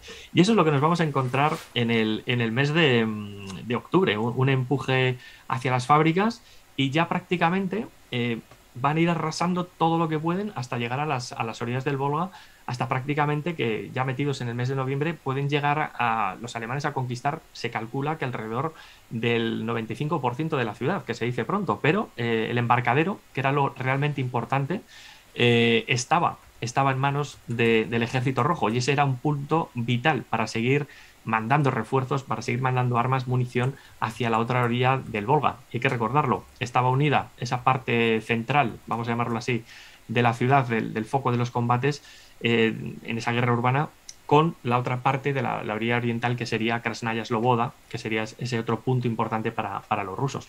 Y aquí, pues bueno, nos vamos a encontrar con micro batallas eh, algunas más célebres, otras menos célebres. Insisto, en el cómic ha sido imposible recoger todas porque hay mucha gente que nos ha dicho, si no habéis eh, tratado eh, la batalla por el granero famoso, este, el silo de grano, de, ya, pero es que, a ver, hemos dicho desde el principio que hemos metido el foco en una unidad. Una unidad que tocó esa, no va a estar a todos lados. E, efectivamente, imagínate tú que te vas de turismo a una ciudad y yo qué sé, pues como el actual eh, Volgogrado o un Berlín o un Madrid y te dicen, nada, pues tienes ahí 15 días, pues te la vas a ver entera. Pues no, es imposible. No, hay que dejar siempre algo para, la siguiente vez. Para la próxima, exacto.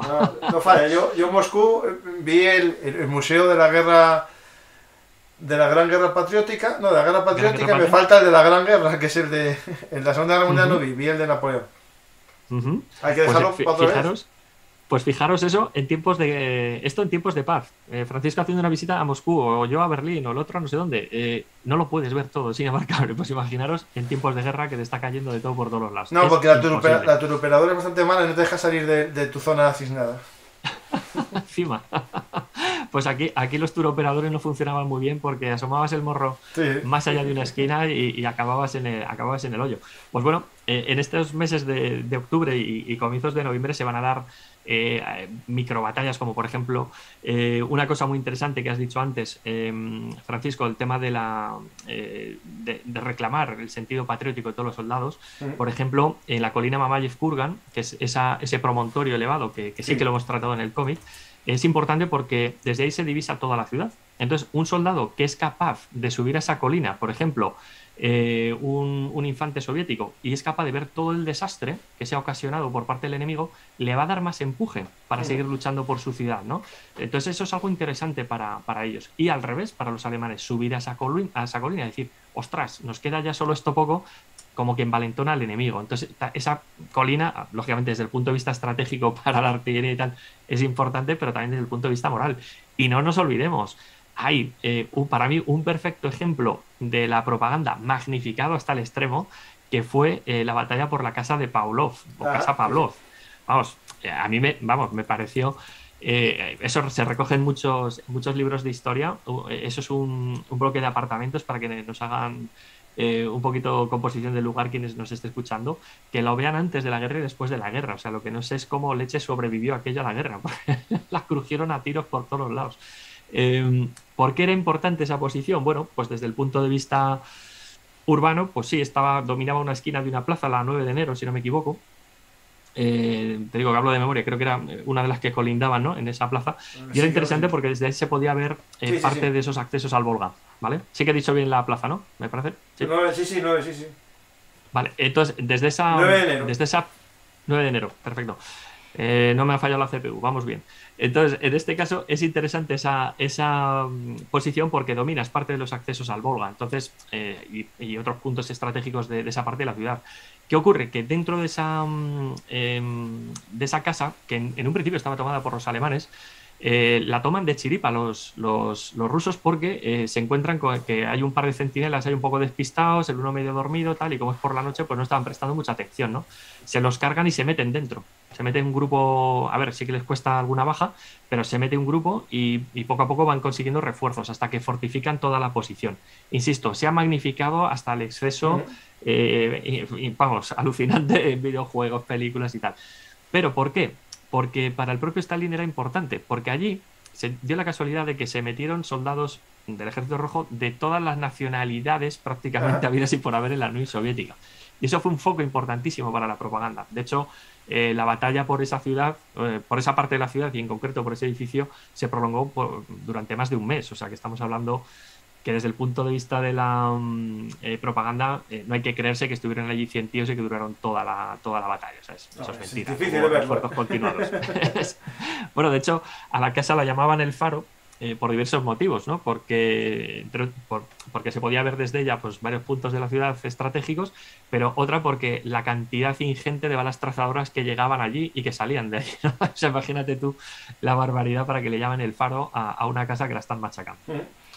Eh, otra casa que, que, andaba cerca, ¿no? que también fue muy importante, es el... La, voy ahora a volver a poner el mapa para los que lo están viendo en, el canal de YouTube. Es el, el centro comercial Almacenes Uni, Univermag, ¿no? Que es el... Los Univermag. Como la sí, sede, ¿no? Se convirtió en el cuartel general de, de Paulus, ¿no? De Paulus, sí, sí, correcto, porque también lo, lo mismo, es un edificio que, que domina una plaza, una, un espacio abierto, eh, por el cual puedes eh, posicionar pues, distintas armas anticarro, eh, ametralladoras, y, y, puedes batir toda una extensión bastante considerable dentro de lo que es la ciudad, eh, hemos dicho, kilométrica de, de Stalingrado. Sí, también un, un, enclave bastante interesante y que, y que cayó en manos de, de, los alemanes y que fue de los últimos puntos en, en rendirse, en uh -huh. este caso al ejército rojo, cuando concluye la batalla, efectivamente.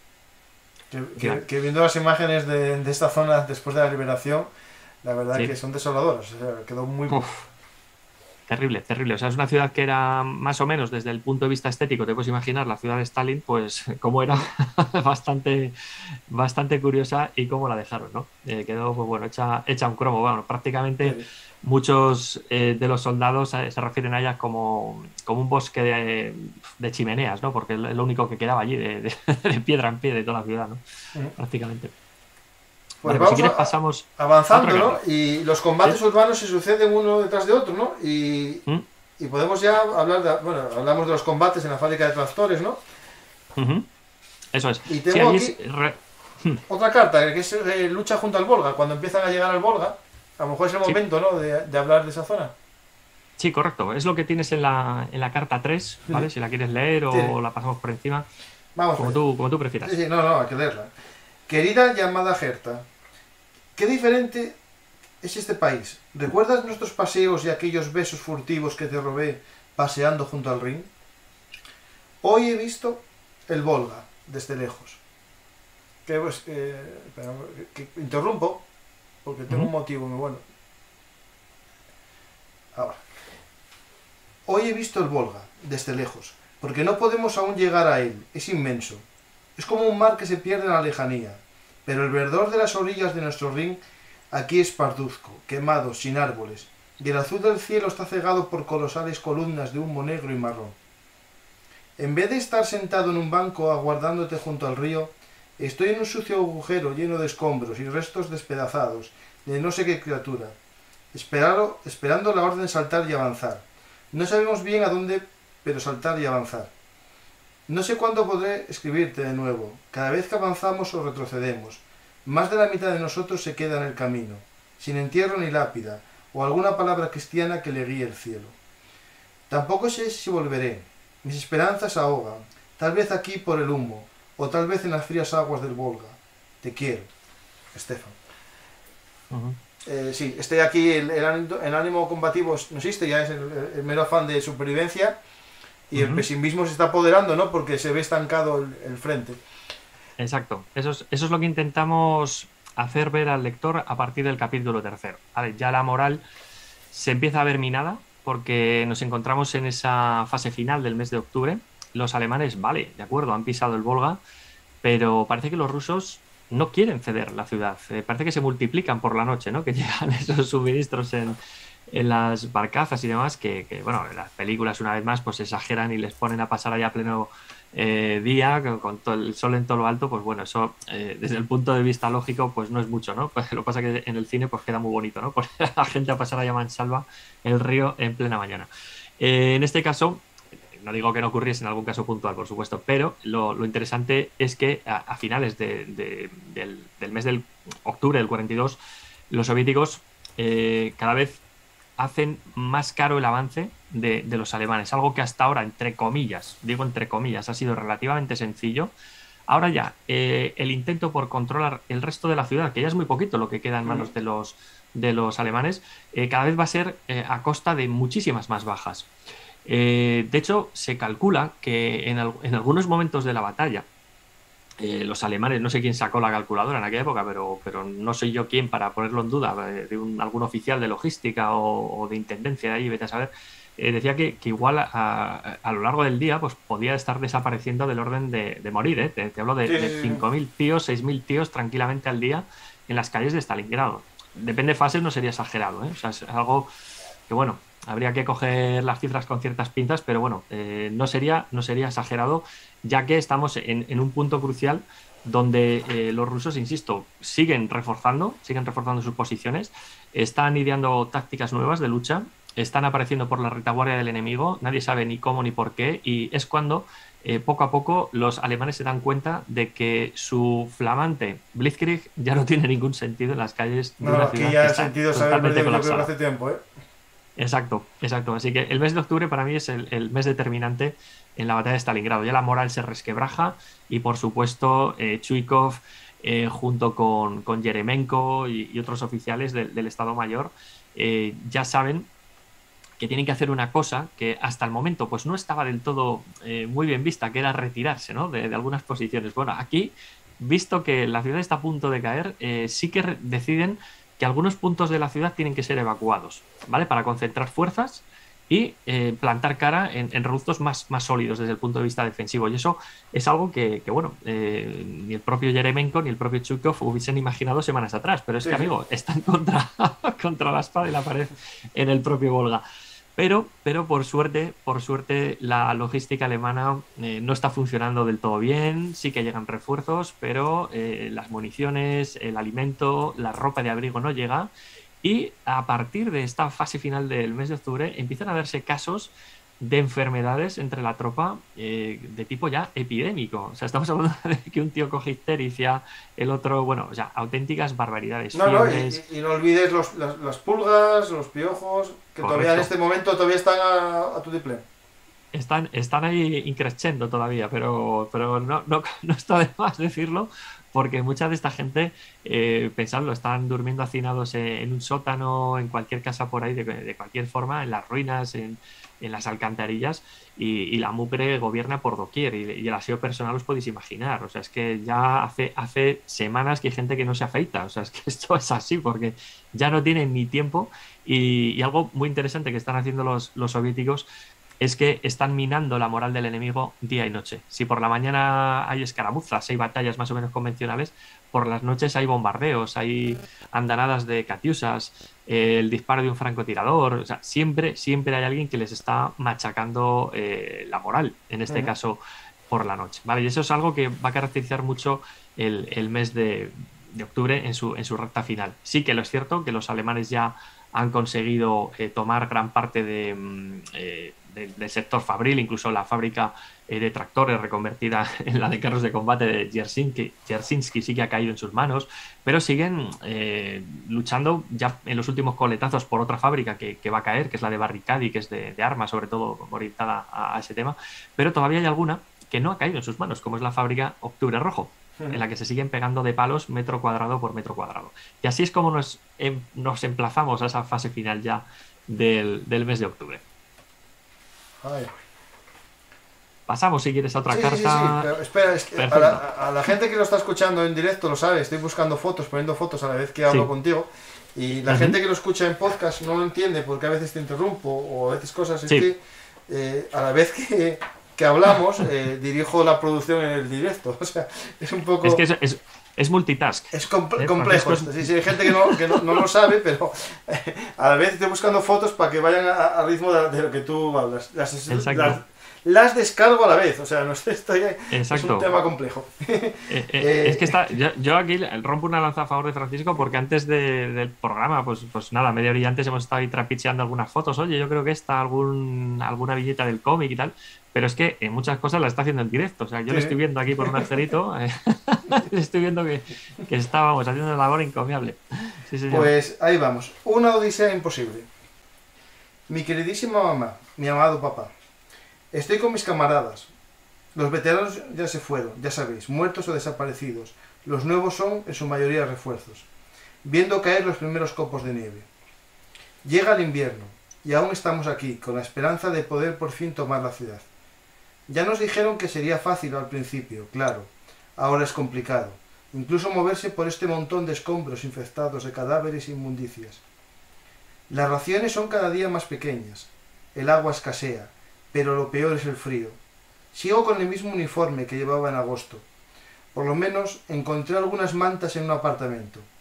Aún olían al perfume de sus dueños, que no tengo ni idea dónde estarán. No sé cuándo me concederán permiso, y aunque me lo concedieran, los vuelos son complicados, según me han dicho un camarada de la Luftwaffe. Ya os escribiré de nuevo, cuando pueda. Mientras tanto, no os preocupéis mucho por mí. Sabéis que me las apaño muy bien. Os recuerdo mucho. Ludwig. Pues, Madre mía, ah, menudo testimonio, ¿eh? Sí, sí, sí, la, verdad que ya el pesimismo, ya, a este a los padres, bueno, conociendo también la psicología, no se va a despedir de sus padres una carta, porque el sufrimiento de la madre, eso no, no tiene igual. En ningún, o sea, me imagino que los rusos también escribían sus cartas o, o, sus pensamientos a su madre, ¿no? que es lo que todo el mundo, todo soldado, hasta el más duro, ¿no? cuando es herido o persona llama a su madre. ¿no? Herido. Y, ahí, eh, incluso había un debate aquí en el, en el chat del directo sobre cuando hablamos de la broma, ¿no? de la rodina e incluso por la, madre, por, por, la religión ortodoxa, la realidad es que el campesino ruso o soviético, ucraniano, en este momento, pese a vivir la revolución eh, soviética, seguía siendo muy religioso que incluso eh, los soldados de la División Azul lo, lo resaltaban, ¿no? que veían imágenes de la Virgen en las casas y los consideraban como, como iguales que sufrían el, el comunismo igual que ellos lo, hubiesen sufrido en España. ¿no? Sí, lo, lo, vimos en el programa del Volhov, me acuerdo, sí, sí, lo, lo comentamos, exacto, exacto. Bueno, pues estos, eh, este testimonio lo, lo, podemos hacer extensivo a muchos soldados alemanes que están combatiendo en estos días ya, ya nos hemos metido en, en noviembre, eh, para mí, el mes clave y determinante de toda la Segunda Guerra Mundial, noviembre del 42, eh, por una sucesión de, eventos que, vamos a comentar así un poco a, abuela pluma. Eh, pero fíjate, el, comentario del, veterano, o bueno, del soldado, no, sabemos a ciencia cierta si sobrevivió o no, pero esto mismo que está diciendo este soldado lo está diciendo un ruso en ese mismo momento, seguramente en una carta casa, esto está clarísimo. ¿no? en este caso estamos ya en un noviembre criminal desde el punto de vista de la temperatura. Estamos hablando ya de, unos 18 bajo cero, que se dice pronto. no, y noviembre, o sea, que todavía estamos en la fase fría. ya estamos aquí. Ya uno de Burgos empieza a poner una sudadera encima, ¿eh? a 18 bajo cero, pues bueno, estamos ahí. Y en este caso, eh, algo muy interesante. Eh, muchas veces cuando alguien analiza un tema de la Segunda Guerra Mundial se centra tanto en él que, pierde la perspectiva de lo que está ocurriendo en todo, en todo el mundo. ¿no? En este caso, en noviembre del 42, un tal Rommel con sus Africa Corps empieza a recular del Alamein de Egipto, ¿verdad? Eh, también empieza a, sucederse una operación, la operación Antorcha, donde eh, empiezan a desembarcar tropas aliadas en Marruecos, en Argelia. Eh, y, las cositas empiezan a complicarse un poco para los alemanes en, el norte de África. hay mucha gente que dirá, bueno, si es un frente secundario y tal, sí, de acuerdo. Claro que es un frente secundario. De hecho, la, fiesta de verdad en la Segunda Guerra Mundial es en el frente ruso, ya lo hemos comentado en otros programas, es donde pierde Alemania un, 75% de sus efectivos aproximadamente. en este caso, eh, desde el punto de vista moral, tú imagínate un soldado que esté en Stalingrado eh, o viceversa, ¿no? O, en África y que, que, escuche, anda, pues es que los de Stalingrado todavía no han tomado la ciudad, joder, si eso va a caer ahí en un mes o tal. Y, al revés, ¿no? Parece que África va a caer, que está ahí Rommel y está eh, en Egipto, está en el Alamein. Ostras, amigo. Todo eso, Radio Makuto funciona muy bien en cualquier guerra. y se empieza, y se y, la radio, y aparte la radio de estos aliados, la radio libre, ¿no? Británica soltando en la BBC sus historias también. Correcto. Y están bombardeando con información y la gente lo está escuchando. Cuidado con esto también, ¿vale? Bueno, pues nos encontramos en ese, en ese mes, insisto, eh, que digamos que es el turning point, el punto de, giro de la, de la, Segunda Guerra Mundial. Y, aquí nos encontramos a, soldados como, como he traído un testimonio muy breve, eh, para que os hagáis una idea de lo que fue la crueldad eh, en la batalla. Aquí ya Stalingrado es ese Stalingrado que conocemos reventado de, vamos, de cabo a rabo, totalmente. Ya no hay más por destruir ni por arder. Ya ha ardido todo lo que tenía que arder eh, en noviembre del 42. Hay un, soldado alemán que manda una, casa a su casa, una carta a su casa y que cita, aquí hay una frase del Evangelio que me viene muchas veces a la mente. No dejaré piedra sobre piedra. Aquí eso es verdad. Eso lo hemos puesto en la contraportada del cómic. O sea, para mí es la frase que mejor refleja lo que fue aquella salvajada. Eh, nos encontramos con una guerra en superficie que ya no tiene mucho sentido. Muchos soldados ya no quieren morir por, por una ciudad que ya no es que vean complicado eh, el tema de conquistarlo, sino que lo que están deseando es salir de allí. Porque están viendo que los rusos no se acaban y que le siguen masacrando. Eh, es, es importante también que, el oyente eh, tenga en mente que, Paulus ya, por mucho que quiera lanzar ataques, ¿contra qué lo lanzó? ¿Contra ruinas? ¿Dónde está el enemigo si no le vemos? No, el problema, claro, que, que, se había enterrado el enemigo, es decir, había una ciudad subterránea. Exacto, exacto. Eh, uno de los capítulos que eh, luego veremos casi casi ya de inmediato está dedicado a la guerra eh, subterránea, porque a partir de que el frío empieza a gobernar en las calles de Stalingrado, la guerra se traslada a otros planos. Pero ¿cuál es lo realmente interesante de, este mes de, noviembre? Que Paulus lanza los últimos ataques. Paulus se da cuenta de que empieza a llegar un invierno que, va a ser muy difícil de soportar en una ciudad que, está, sí. controlada más de un 90% por ellos, pero en realidad eh, eh, están formando parte de, una carnada, de un cebo, donde el ejército rojo está triturando a todo lo que mandan. Eh, literalmente es así. empiezan a, aparecer casos, de verdad, yo cuando lo he leído en, documentos oficiales, casos de disentería, de, tifus, de ictericia. Bueno, lo que hemos comentado de los piojos, de las pulgas, todo lo que queráis, ya lo tienen los soldados encima ahora es cuando va a tener sentido esas fotos de las barbas que comentábamos antes. ¿Por qué un soldado eh, ya no se afeita o, tiene esa suciedad que, lleva semanas sin, darse un baño, sin, sin, nada de higiene personal? Porque eh, hay, un, dicho que me gusta a mí eh, citar, que es lo de la sabiduría de trinchera, que todos esos soldados cuando ya se dan cuenta de que van a estar allí semanas y que a lo mejor mm, algunos sueña con salir con vida de allí, saben que si no quieren encontrar enfermedades, cuanta más mugre tenga en la piel, más difícil lo tienen las, las pulgas y los viejos para pincharles y, chuparles la sangre. Sí, sí, eso es algo eh, que siempre me llamó atención, que la gente asociaba los piojos a la suciedad, pero realmente van al pelo limpio. Correcto, correcto. Entonces, cuanto más sucio estés, menos probabilidades tienes de que te chupen la sangre y te, y te contaminen con cualquier guarrería, ¿no? Sí, Por pues, eso los niños pequeños son los que más piojos tienen, porque los padres lavamos todos los días el pelo, por si acaso. correcto, correcto. Y, fíjate, fíjate, eh, o sea, alguno puede estar pensando, estos dos están aquí alucinando. Pues bueno, yo he leído en más de un testimonio de algún soldado, tanto ruso como, eh, como alemán, que la única forma de acabar con los piojos de un soldado muerto, porque claro, cuando un tío se, se moría, eh, se veían auténticas manadas que iban migrando de un cuerpo a otro, iban, en plan en plan expedición, toda la manada de piojos o de lo que fuese, de, un cuerpo a otro, ¿no? Que, tuviese calor, que tuviese calor. Entonces, lo que hacían era enterrar, enterrarlo de inmediato, si podían, si podían, y si no, eh, si igual, yo qué sé, pues un soldado pues, que estuviese vivo tal y tenía un jersey que estaba infestado de, de, piojos, lo que hacían era, se lo quitaban, se lo intentaban cambiar por otro y lo enterraban y dejaban eh, que asomara un poco la manga. Entonces los, los, piojos iban saliendo por la manga y a hostia limpia con palas y tal se los intentaban cargar. O sea, fijaros la desesperación. Eso, eso, no me lo invento, eso está escrito por Martín Soldado. Mira, te voy a, decir, una cosa que no quise interrumpirte antes sobre los piojos. Y, mm. Eh, con esto del, del COVID, eh, los piojos mejoraron, digamos, con una ley que es la ley de la supervivencia, ¿no? de, la, selva. Los piojos de infantiles eh, con la separación que marcaban a los niños de primaria de 1,5 metros y 2, eh, sobrevivieron los que más saltaron. Por lo tanto, ahora hay unos piojos que saltan mucho más que antes. Y todo porque se, adaptaron a, a, a, distancia de seguridad. ostras, ostras, pues mira, eh, el tema de la evolución, de, la biología, ¿no? no me deja de fascinar, es un campo que me encanta. Pues, pues bueno, tenemos ahí ya esa lucha dramática. Si te parece, pasamos a la siguiente carta, al siguiente capítulo. Lo hemos bautizado la, la Rattenkrieg, la, la guerra de ratas.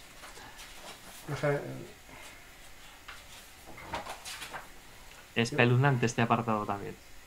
A ver si encuentro alguna, alguna foto que podamos decorar de, guerra de ratas, pero mm, estos, están, entrando, estos están entrando en la madre Sí. Pocas esperanzas me quedan.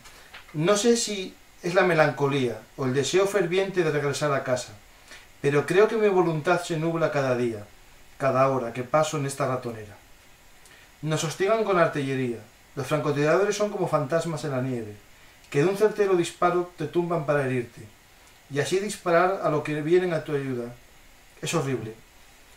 Lo que nos queda es escondernos bajo el suelo, en las alcantarillas o en los sótanos. Por lo menos si está algo mejor que arriba, en medio del frío de la muerte. Tuyo, te quiere, Franz. También, también un relato estremecedor, ¿no? De, cómo la guerra se ve obligada a, bajar a la, pues eso, al subsuelo de Stalingrado.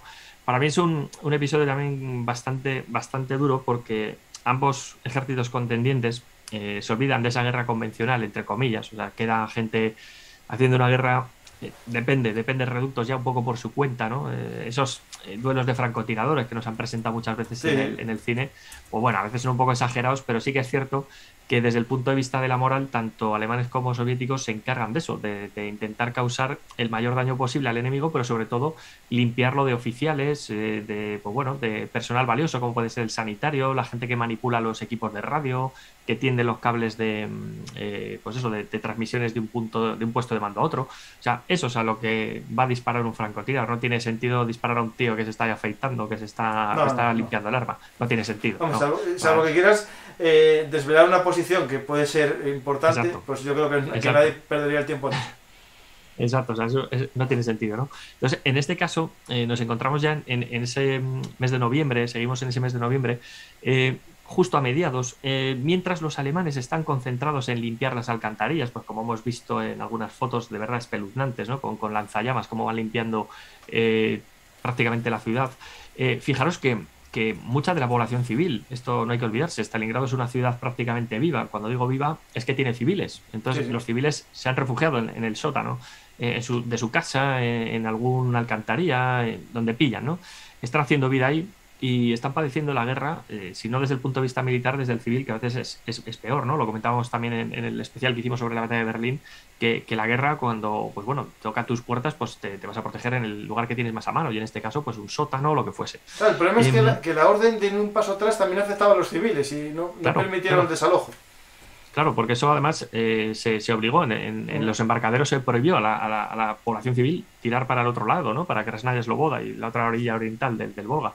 Entonces, eh, los soldados se dan cuenta de que los, soviéticos que están luchando por, por, una ciudad viva. Entonces, eso se supone que les iba a dar más moral. Pero, joder, amigo, cuando ves toda esta miseria ¿no? que, están padeciendo, pues a, más de uno se le caen los, vamos, la, moral a los pies ¿no? de ver tanta masacre.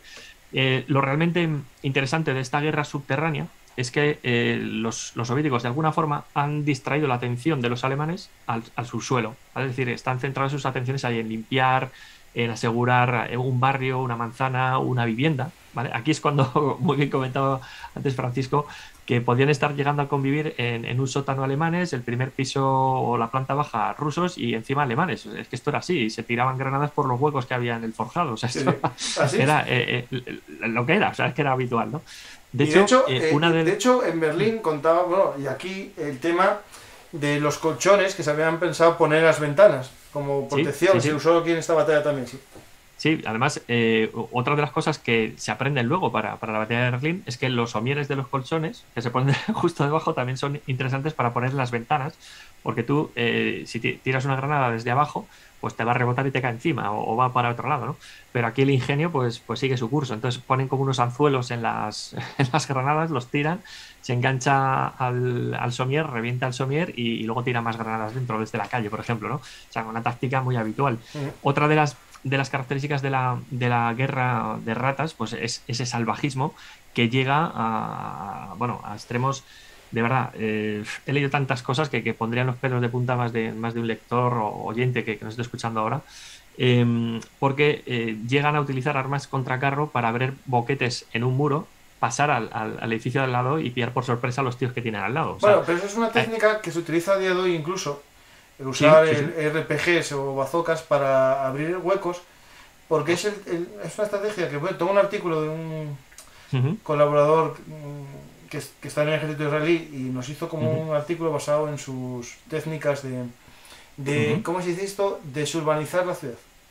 Exacto, exacto. Tú, imagínate que tienes un, un pelotón enemigo, yo que sé, alojado en el sótano de al lado, y le has estado escuchando o sea, es que se ven fotos de, rusos ahí, también un poco de propaganda, ¿no? Escuchando incluso con un, lo que utilizan los médicos, ¿no? Para ocultar a un tío al lado. Sí, sí, sí, cierto. Y coño, eh, eh, hostia, que hay un tío al lado, que hay un pelotón al lado. Y van y, lo forran de cuatro tiros, les pillas por sorpresas y, la masacre es absoluta, ¿no? Entonces, bueno, eso es un poco lo que, lo que se está prodigando en, en Stalingrado, una guerra que ha pasado a los sótanos, ¿vale? Porque ya no interesa pegarse de palos arriba porque, primero, por el frío y segundo, pues porque ¿qué conquisto yo ahora, no? No tiene mucho sentido. Claro, claro. Aquí ya es la lucha por la supervivencia casi. Exacto. Aquí es el, turning point que hemos dicho, ¿no? Ya eh, cambian, cambian los, los, roles, el que atacaba ahora se tiene que defender. Y luego también algo interesante, que tú has desviado la atención a la propia ciudad. Entonces los alemanes están mirando a la ciudad y se olvidan por un momento de lo que ocurre en la periferia de Stalingrado, que han, eh, han dejado eh, a varias divisiones em, de sus aliados, de italianos, de romanos, de austriacos, también de alemanes, que están defendiendo la periferia de, de Stalingrado.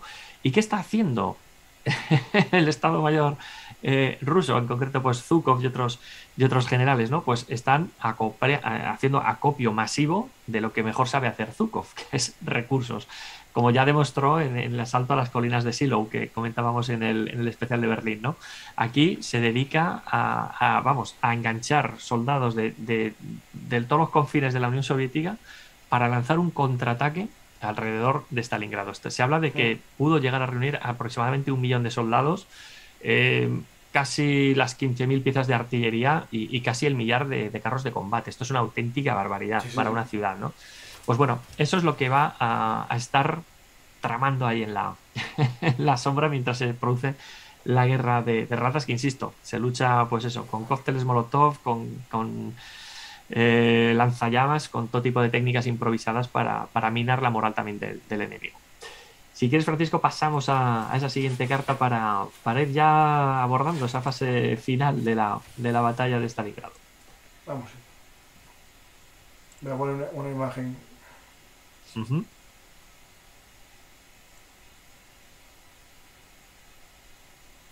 Más aquí ya tiene mucha amiga el cómic, ya llega a esas escenas criminales que hemos visto en muchos libros. Cercados. Querida mamá, no tengo buenas noticias. ¿Para qué mentirte? Siempre me enseñaste que la verdad era primordial, y todas tus enseñanzas en mi vida me han servido para intentar ser mejor persona, mejor hombre. Por ello, ahora te añoro aún más. Perdóname si alguna vez te fallé como hijo, como aquella vez que me emborraché con Heinz y el primo Horst, te dejábamos la cocina patas arriba. ¿Qué daría yo ahora por ver tu enfado y que me gritases? ¿Qué daría yo por sentarme en esa cocina y ver cómo cae el sol en las llanuras, entre los árboles? Los rusos nos han cercado, el frío es aterrador, y la muerte acecha a cada palmo de esta gélida estepa. Donde miles de mis camaradas yacen muertos bajo un manto de hielo. Trataré de sobrevivir, te lo prometo, pero si no lo logro, guarda un buen recuerdo de mí, de tu amado hijo. Bueno, ahí tenemos otro relato de, otro soldado que ya ve el fin más cerca que otra cosa, más que la victoria, ¿no? Pero está, viendo su fin personal, ¿no? Y desde el punto de vista psicológico esto es terrible, ¿eh? O sea, alguien escriba esto es terrible. Que aquí estamos hablando de, no veteranos, porque los veteranos ya se están muertos casi todos, y aquí estamos hablando de, chavales que a lo mejor en el 41 eran el soldado raso y ahora son sargentos y, algunos y tenientes, e incluso algunos que son de esta quinta, y estamos hablando de chavalinos de 18 años que, claro, que no, también en el frente ruso, es decir, los dos bandos, estamos hablando en los dos bandos de, claro, cuando vemos de guerra, ¿no? A veces vemos películas y los protagonistas son gente madura, ¿no? Es decir, a lo mejor vemos a un Sin Connery haciendo de soldado con 40 años, pero la realidad es que la mayor parte de los soldados en esa época eran chavalinos de 18, 20 años y, bueno, y después menos incluso. Es decir, la realidad es que es eso, es que eh, la carta va a lo humano, es decir, va a, a, echar de menos la bronca de tu madre. Sí, ya ves tú. O sea, es, algo que es cierto, que lo echas de menos cuando no tienes a tus padres, ¿eh? decir, sí, eso es cierto. Lo, peor, lo, peor, lo peor que te pasaba en casa, que era una bronca de madre, es una, si me permite la expresión, mariconada con lo que estás viviendo en el frente. No, o sea, evidentemente. o sea, imagínate tú, ¿no? Que alguien añore lo peor que te puede ocurrir en tiempos de paz, ¿no? Que te eche un rapapolvo ahí tus padres porque te ha pillado cocido con, un amigo eh, ahí, ¿no? Tomándose las cervezas o lo que sea, ¿no? Pues imagínate, ¿no? Em, ¿Qué pasa cuando eh, hemos puesto esta carta para abrir uno de estos capítulos? Mm, queremos, queremos que el, lector se dé cuenta de cómo cambia la película, pero ya totalmente, ¿no? como bien sabéis, eh, estamos en ese 19 de noviembre del, del 42 y aproximadamente a las 7 de la mañana eh, bueno, hay una palabra en clave ¿no? que, va corriendo de boca en boca por todas las unidades del Ejército Rojo, que es la palabra sirena, y a partir de ahí se, se lanza la operación eh, Urano, que, el objetivo es cercar toda la ciudad de Stalingrado, partiendo de distintos puntos al norte y al sur de Stalingrado y hacer un movimiento en pinza sincronizado y que va a converger en una ciudad que se llama Kalach o Kalaj. Eh, en este caso, los soviéticos, la verdad que, eh, bueno, tienen un millón de tíos aproximadamente, lo que hemos dicho, ya la superioridad en el aire eh, la tienen, por supuesto, la, van controlando ellos, salvo episodios concretos, tienen muchísimos carros de combate, imagínate todo eso lanzado al frente a la vez. Pues bueno, pilla por sorpresa a rumanos, a italianos, a austríacos, a, todo lo que... A todos los que estaban cubriendo los, flancos. todo lo que estaba a varios kilómetros, ojo, eh, a varios kilómetros de Stalingrado y eh, al cuartel de Paulus empiezan a llegar mensajes de que están atacando aquí, de que están atacando allá. Eh, bueno, esto es algo que, bueno, te puedes imaginar, ¿no? les pilla por sorpresa, entre comillas, entre comillas, a más de uno en el alto, en el alto mando. Yo quiero, yo quiero creer que Paulus, cuando llega esta fecha del 19, eh, bueno, pues al principio igual lo puede ver como una maniobra de distracción, ¿no? Pues para que envíen tropas eh, a un lado y a otro, a un flanco y a otro, y descarguen la presión sobre la ciudad. Yo creo que Paulus en un, principio pudo pensar, pudo pensar esto, pero es que, ojo, es que algunos de sus oficiales del Estado Mayor ya le habían, ya le habían eh, lanzado alguna recomendación como que igual toca largarse de aquí ya, que creemos por prisioneros que habían tomado al ejército rojo que, están acumulando eh, cientos de miles de soldados. Claro, esto eh, te lo dice un, prisionero, no sé qué, te lo dice otro, tal. Bueno, pues igual puede ser una coincidencia, un farol, ¿no? Pero hay amigo, cuando te lo dicen decenas de prisioneros que les de los que has obtenido esa declaración, ¿no? Bueno, pues por desgracia para, para Paulus y todos sus hombres eh, destinados en Stalingrado, que insistimos, están pasando las canutas, ya las temperaturas son de más de 20 bajo cero. Em, literalmente se les echan encima eh, un millón de, tíos alrededor de, Stalingrado y, el día 20 y el 21 se, confirman las sospechas de, Paulus, ¿no? Van a ser cercados. Y es algo que ocurre eh, en, cuestión de días. Y eso que algunos pensaban que iba a ser algo temporal, como el propio Hitler eh, pues eso, a miles de kilómetros del frente. Eh, ¿Qué pasa? Que a los cuatro días, prácticamente cinco días de lanzar el ataque, el día 23, la ciudad ya queda eh, rodeada cuando las primeras unidades de vanguardia del Ejército Rojo enlazan en, en Entonces, ahí ya han quedado metidos en todo el saco doscientos y pico mil tíos. Se dice pronto, ¿eh? en el saco has metido doscientos y pico mil tíos. Le hicieron una bolsa de las grandes. Sí, sí. O sea, estamos hablando que, según fuentes, un cuarto de millón, gente que lo baja a 190.000, 200 y pico mil. Bueno, yo me quedo con casi el cuarto de millón tranquilamente, o 200.000 tranquilamente. Eh, se ha hablado mucho del colapso de los, de los flancos, que si eran tropas endebles, que si no sé qué, que si no sé cuál. Bueno, em, de verdad, mm, cuando mucha gente tilda a los, a los que estaban defendiendo los flancos como tropas de segunda, de tercera, de tal, eh, cuidado que allá había gente interesante, depende del sector del, flanque, del flanco que nos encontremos, que eh, opuso resistencia hasta el final, eh, luchando en una vamos, superioridad del enemigo totalmente manifiesta, que hicieron todo lo que pudieron con el típico cañón que tenían a mano, reventando todos los carros de combate que pasaban por delante, y, gente que murió, pues eso, sabiendo que como cayera la posición, se iba a estrechar el cerco y iban a, quedar estrangulados en Stalingrado eh, todo es este ejército alemán. O sea que la resistencia muchas veces lo pasan así como algo por encima en muchos libros de historia. Ojo que en los flancos hubo un fregado bastante importante y tal vez por retrasar eh, un par de días eh, la convergencia del ejército rojo en Kalag, a lo mejor, a lo mejor se pudieron preparar algo mejor dentro de la ciudad, pudieron evacuar más gente desde los aeródromos, etcétera, etcétera. O sea, hay que tenerlo muy, muy, muy, muy presente, ¿no? Pero fíjate eh, fíjate eh, lo que radia en, un telegrama o lo que manda en un mensaje Paulus a, Hitler justo el día antes de ser cercados, ¿no? Y dice lo siguiente: Estamos rodeados, el frente sur aún está abierto y el Don se ha helado. Es practicable, con lo que eso implica, ¿no? Que puede pasar por ahí todo Dios. Nos queda poco combustible. Una vez los gastemos, los tanques y las armas eh, pesadas pararán. Hay pocas municiones, nuestras provisiones durarán unos seis días y él Aquí, con esta frase, lo deja todo claro. Pedimos libertad de acción. La situación puede obligarnos a abandonar Stalingrado y el frente del norte. Pero... Ya ahí, Paulus, se huele la tostada. Pero, amigos, al poco, el, antiguo cabo. el, cabo el cabo austriaco. el cabo austriaco, el cabo Hitler, eh, en este caso Hitler, pues bueno, ya sabéis, está al mando de, de todo el tinglao, le dice el sexto ejército adoptará una defensa en erizo y mantendrá las actuales líneas del frente en el norte y en el Volga a cualquier precio. Los suministros se enviarán por vía aérea. Amigos, aquí hay 250.000 tíos atrapados y esto no es la bolsa de Demians, que, que había 90.000 y sí se pudo abastecer. Esto claro, el tema es... que tenían esa como referente. Correcto, es que tenían la bolsa de Demians, que, que la verdad que fue exitosa, pero claro, también a, unas costas, a un, coste de vidas humanas terrible. O sea, eso también da, para hablar, ¿no? De un programa especial sobre Demians, porque tanto la lucha en el exterior del, del Kessel, del cerco, como en el interior, fue terrible. ¿Qué ocurre? Que aquí la, la Luftwaffe, pues bueno, Gering saca pecho y dice, bueno, tranquilos que esto lo solvento yo. Bueno, eh, es algo de verdad, eh, lamentable que, todo el jefe de la Luftwaffe, pues bueno, saque pecho ahí presumiendo cuando sabe de sobra que no va a haber aparatos suficientes para, abastecer, que la mecánica es imposible. Esto es algo que he podido evidenciar cuando escribí el libro sobre la, primera escuadrilla azul.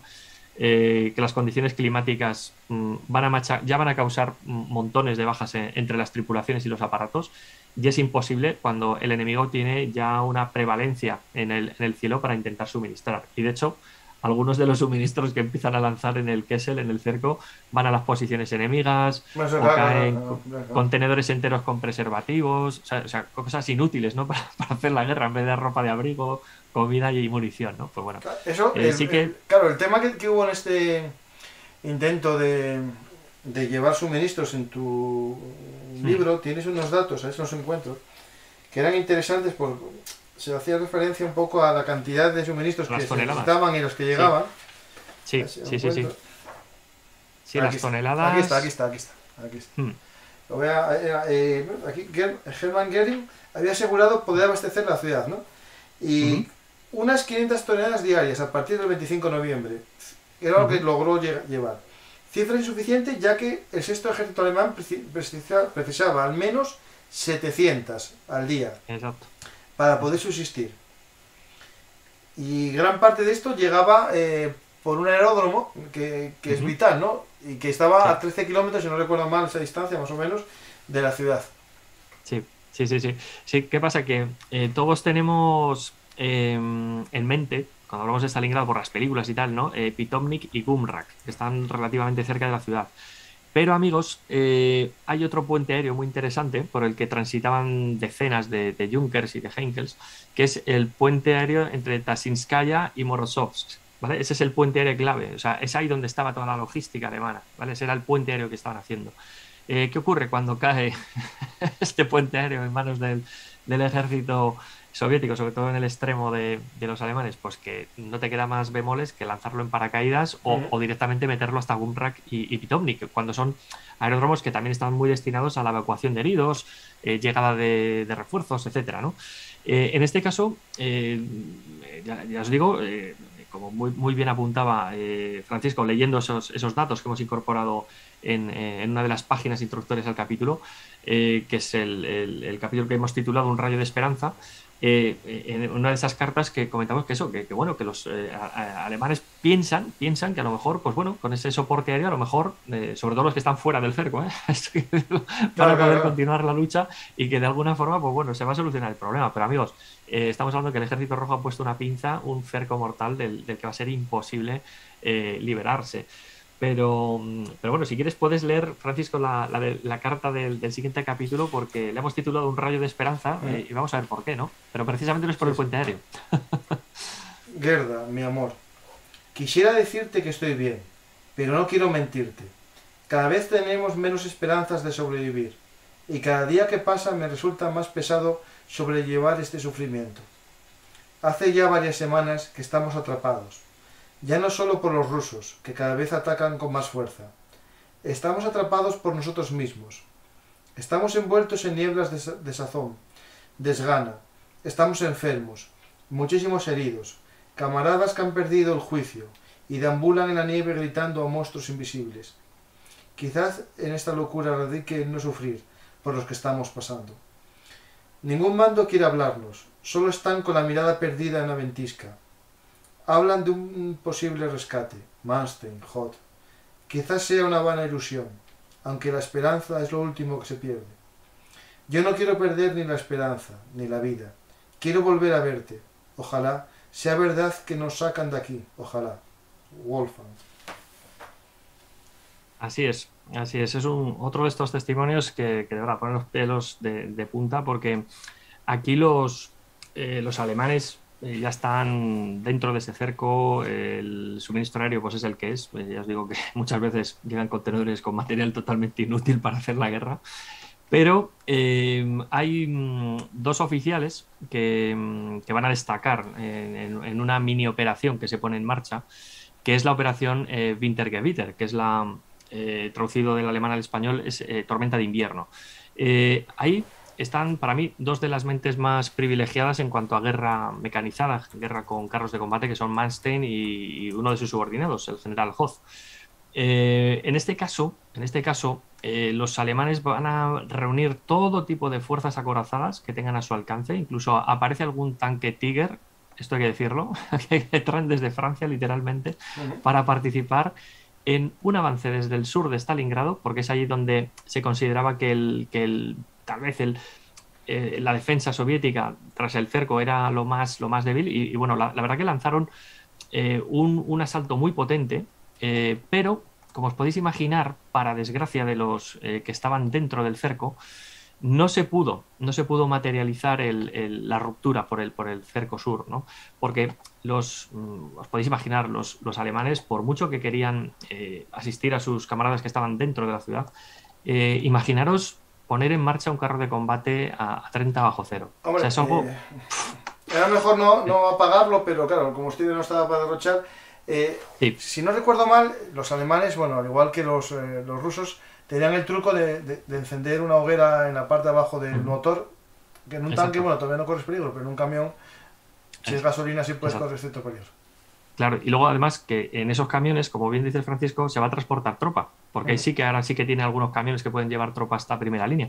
Pero no nos olvidemos, los, los, soviéticos, los rusos en este caso son maestros a la hora de hacer ñapas para poner en marcha sus, sus, máquinas de guerra. a los alemanes se les comían los ratones hasta los cables de, del sistema eléctrico. Pero los, los, rusos no tenían estos problemas porque estaban acostumbrados y sabían cómo solventar los problemas, ¿no? Pero fijaros que llega por radio el mensaje de, a Paulus y a la ciudad, a alguna estación de radio alemana, escucha los combates en el exterior de la ciudad y saben que Manstein y Hoth están detrás del ataque y saben que, joder, Manstein, nunca falla. es algo que... Hasta ese, hasta ese momento, efectivamente, eh, les llama la atención y dicen, jo, este, este hombre nunca falla. Y, bueno, y así llega Hoth también, que, hizo un papel, la verdad, que bastante eh, destacable en esta acción. Eh, pues bueno, muchos, muchos creían en ese rayo de esperanza. Pero amigos, el avance se queda estancado a 50 kilómetros al sur de Stalingrado, justo en, lo que es la, la, barrera natural del río Mishkova. Em, muchos de los eh, tripulantes de los carros de combate se limitan a asomar por las torretas y con los binoculares ver a lo lejos las humeantes ruinas de Stalingrado, pero no, no, llegan a más. No llegan, cuando hablo de las ruinas, no del centro de la ciudad, ¿eh? de la periferia y todo el rollo. ¿eh? con 50 kilómetros con unos binoculares, jodido está. es frustración. aparte por el horizonte, a ver, a, ver si los terraplanistas piensan que se puede ver a 50 kilómetros igual sí, ¿no? Pero en este caso, eh, insisto, las tripulaciones de los carros y los defensores alemanes, eh, ese rayo de esperanza se convierte en, auténtica frustración. Esa es la palabra que mejor resume eh, el, intento estéril que queda abocado al fracaso en las orillas del Miskova, ¿no? Así que si te parece bien, Francisco, ya estamos ahí llegando a esa. Aquí hay una, imagen, ¿no? en Stalingrado, que estoy viendo uno de estos típicos cuadros inmensos, que son casi de pared, ¿no? De, mm, soviéticos, que es el abrazo de los dos eh, ejércitos que hacen la pinza, ¿no? En Stalingrado. Cierto, cierto. Sí, típica foto de propaganda, ¿no? a ver, es importante. Eh, que haya fotógrafos en ese momento. Es, pues otro momento culminante como fue, pues yo que sé, el izado de la bandera en Iwo Jima o la puesta de la bandera en el, lo alto del Reichstag, en la batalla de Berlín. ¿no? Es un momento crucial y los soviéticos no fallan a su cita con, esa imagen para la propaganda. ¿no? Y entonces lo fotografían, hacen varias tomas. si tú te fijas, los tíos llegan ahí ultra limpios, los carros inmaculados, llama mucho la atención. ¿no?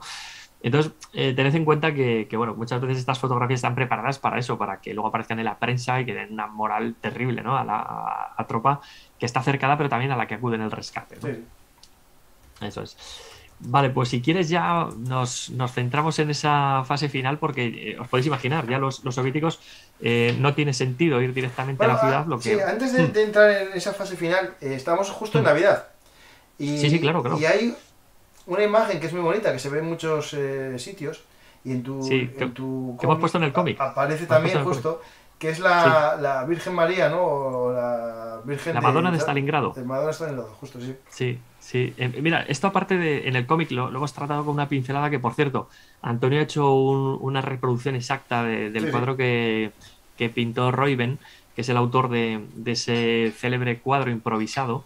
Eh, toda la anécdota, a ver, aquí la contamos un poco por encima, porque toda la anécdota la tengo yo en un capítulo de uno de mis libros que, se puede encontrar en Amazon sin, sin ah. problema, que es Soldados, Hazañas y Batallas. Y hay un capítulo exclusivo dedicado a la Madonna de Stalingrado, ¿no? Que cuento todo el circo este que ocurre con el cerco y tal, ¿no?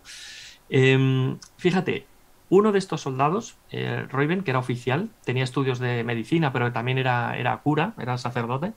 Eh, bueno, visto que el percal pues, ya era totalmente desfavorable para ellos, se dedicó a, coger un mapa, le dio la vuelta y se puso a carboncillo a esbozar una Madonna, una Virgen, eh, abrazando debajo de un manto a un niño Jesús pequeñito, ¿no? recién nacido, se supone. Y pone Kessel eh, no, perdón, eh, Weihnachten in Kessel, es decir, las Navidades en el Cerco de 1942, y luego eh, pone tres palabras, que es eh, Lieben, Lebe y Lecht, que es vida, amor y luz en alemán, respectivamente. Y en este caso, pues bueno, pone Stalingrado 1942. Luego sí que hizo otra Madonna en, presidio, es decir, ya la llamó de otra forma, pero bueno, más o menos la, Virgen del Presidio, entre comillas, valga la, un poco la traducción libre, pero esta es la que le hizo célebre y que de hecho hay varias copias y, bueno, está. De hecho, la, imagen conocemos de ella porque se la dio a uno de los últimos heridos que fue evacuado de Stalingrado. Eh, gracias a que lo, sacó del Kessel, del cerco, eh, tenemos constancia de este, de este, dibujo que está eh, en, su iglesia de, su población natal, pero hay copias en la iglesia de Berlín, en la mm, dedicada al memorial de, Wilhelm, en, en, uno de los barrios de Berlín, que es todo seguro que tenéis en, mente lo que llaman la polvera y el pintalabios, que es ese monumento que queda ahí después de la Segunda Guerra Mundial. Y creo que se dio alguna imagen, alguna reproducción de cortesía, que no sé si está también en alguna capilla de Stalingrado, me quiere sonar. Pero yo las, las, dos que tengo localizadas son esas, la de la iglesia de su ciudad natal y la de Berlín. Esas seguro que están ahí, pero me suena también que hay alguna en, ah. en Rusia, alguna copia. Encontré la de los prisioneros y ya la encontré. Y pone, es la del 43, espera si la encontré. 43, exacto, exacto. A ver si me deja. Aquí está, aquí está. Aquí. es, es un poco distinta, porque solo aparece, digamos, el torso y la cabeza. Exacto. Bueno, tapado con una, con una manta cubriéndolo, sí, sí. Mm, eso es. aparece lo mismo, light, lieve, pero aparece otra cosa que es Weihnachten, esa es Navidad en, en alemán, que es, esa es la del 42. Y luego tendrás otra que será del, del 43, lo mismo, pero en presidio. No, no me acuerdo ahora cómo era. Esta es 1943 pone y pone Leven. Leven. Eso es vida. Leven, lieve, que sería amor. Lieve, amor, light, y después Benet, eso de Navidad. Sí, vale, eh, que, que, no pone. No, la de 42 ya la tenía puesta, la anterior, ¿eh? Vale, vale, sí, pone exactamente lo mismo. Sí, sí, sí. Eso es, y la otra es la del presidio. Eso, pues. son la, de 43 es, la de 43, para la gente que lo está escuchando en podcast, es como solo el rostro y, y, un poco una manta tapando, digamos, lo que es el, el cuerpo. Y la del 42, que es la que se hizo durante la batalla, es como una Virgen María sentada, tapada con una manta, cubriendo en sus brazos a su hijo. Eso es, pues esa, ah, para mí, por ejemplo, es una, una imagen espeluznante que recoge eh, lo que ya lo que le queda a un ser humano que ya se ve abocado a la muerte segura, ¿no? Que es eh, creer en algo que le pueda salvar, ¿no? Y en este caso, pues él hizo lo que le pidió el cuerpo, ¿no? Que es pintar una, un, icono, una imagen de, de, una virgen en este caso, como dando esperanza a todos los moribundos que tenía alrededor. no olvidemos que este tío era también médico, por lo tanto estaba por ahí prestando labores sanitarias, ¿no? Eh, fíjate que esta imagen, pues bueno, eh, de alguna forma eh, corre el, rumor de un búnker a otro, de una, de un, pues eso, de una isba a otra, ¿no? Porque esto hay que tener en cuenta que también ocurre en escenas como estas, fuera de la ciudad de Stalingrado, y en una de esas isbas, por ahí perdidas de la mano de Dios, en mitad de la periferia de Stalingrado, pues tiene lugar esta escena y muchos soldados se juegan la vida literalmente para ir al búnker donde está este tío y poner una velita, no sé qué, y dar un poco de, confort, de cuidados a, los moribundos que están muriendo alrededor de ellos, ¿no? O sea, eso es un poco lo, estremecedor de todo esto, ¿no? Que en mitad de toda la barbarie, pues alguien acude allá a un búnker a poner una vela, pues yo qué sé por qué, pues para pedir la salvación, o, eh, bueno, ya algo casi imposible, ¿no? Dado, las circunstancias. Eso es. Y de hecho veremos que, incluso aunque sobrevivieron a esto, muy pocos sobrevivieron después a la guerra. Correcto, correcto. Pues si quieres pasamos al siguiente capítulo. Hasta el último cartucho. Voy a quitar la imagen de, de la Madonna. Mejor que no. Un segundo. ¿eh? Sí. Pues este es el capítulo final de, de, la novela gráfica que hemos titulado así, ¿no? Hasta el último cartucho en muchos sentidos, ¿no? Es un título bastante simbólico, no solo desde el punto de vista de, la munición y de las armas, ¿no? Sino un poquito, vamos un poquito más allá con, este, con este significado. Pensemos que hemos pasado ya, ¿no? Estas navidades y ahora Francisco nos va a leer un poquito el relato. Em, muchos de estos aeródromos ya están a punto de caer y es el último cartucho, la última posibilidad de salvación para muchos soldados alemanes que están ahí en el, cerco. Sí, sí, que ya no pueden montar los aviones. Querida Friedel, aprovecho este momento de calma para escribirte unas líneas. Tendrás que disculpar mi mala letra, pero mis dedos no responden bien debido al frío, aunque podría ser peor. ¿Recuerdas a Germán? Sí, el hijo del señor Schauer, el que vivía en la Glutenstrasse. Ahora mismo lo estoy viendo. Bueno, en realidad llevo viéndolo desde hace tres días, inmóvil, boca abajo. Me dijo que podría arrastrarse hasta el caballo que yacía frente a, hasta, frente a nuestra trinchera, para conseguir un poco de carne y así podernos llevar algo de, de comer a la boca. Nunca lo consiguió. Lo abatieron de un solo disparo en la cabeza. Desde hace una semana ya no recibimos correspondencia. El último aeródromo cayó días atrás, por lo que para serte franco, sé que no recibirás esta misiva. Tendrás que disculpar mi mala letra. Aún así necesito escribirte, con la esperanza de que algún día alguien encuentre esta carta y pueda hacértela llegar. La guardaré doblada en el bolsillo, junto a la foto de Ilse, nuestra querida hija. Háblale de mí, que sepa que su padre siempre la amó y que comprenda la sin razón de esta maldita guerra, por la que, no estamos, por la que nos estamos sacrificando sin sentido alguno. Creo que cuando termine de escribirte esta carta iré a hacerle una visita a Herman, y después la nieve volverá a derretirse, la hierba volverá a crecer, y las hojas de los árboles volverán a caer. Las estrellas seguirán mirándonos desde el oscuro cielo, ajenos a nuestros conflictos banales, que simplemente se perderán en la bruma del tiempo. Un último abrazo y un cálido beso de tu Joseph. Eh, eh, Madre mía, ¿eh? Sí, sí, no, no, está, a ver, esto eh, realmente no sé si estas de las que son basadas en hechos reales o de tu, o, de tu pluma, porque es, algo que, es un secreto, no sabemos exactamente cuáles, muchas son reales y esta no me, lo, no me lo digas porque me lo estropearías. realmente es una carta que, que, que es completamente humana y también habla un poco eso de, de, de, a ver, ¿cómo explicarlo? De, la sin razón de la guerra, es decir, un soldado que muera por ir a comer un poco de carne de un caballo que está justo ahí al lado, que aparte no es uno más, sino que es un amigo suyo porque, claro, será de la misma unidad que era de reclutamiento provincial y es algo que, que, en las guerras sucede muy a menudo y hay países que cometieron el error más que otros, ¿no? Los británicos, que con aquello de alistar por ciudades hasta, hasta que se arrepintieron de esa forma.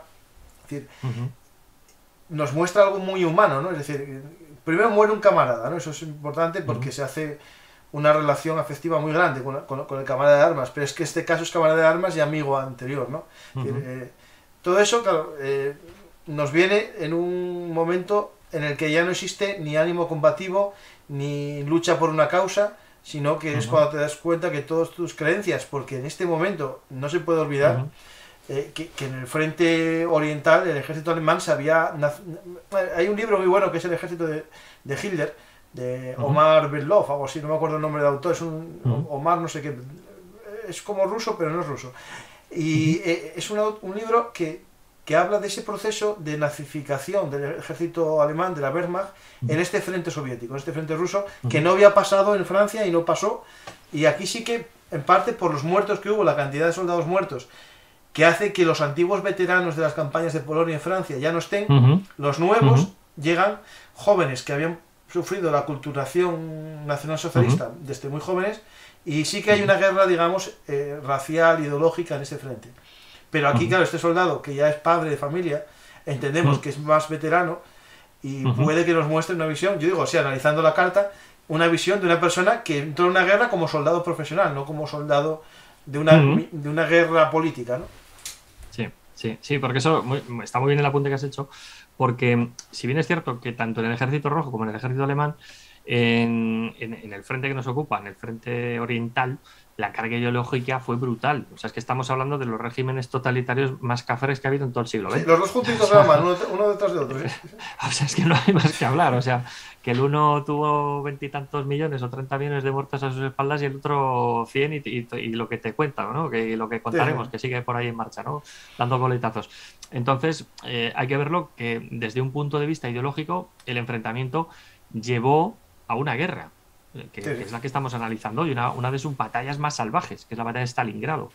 Em, este testimonio, que insistimos, algunas de las cartas son reales, otras son ficticias, puede ser perfectamente un ejemplo de uno de tantos soldados eh, de cualquier ejército que se ve ya irremediablemente perdido, que sabe que va a morir.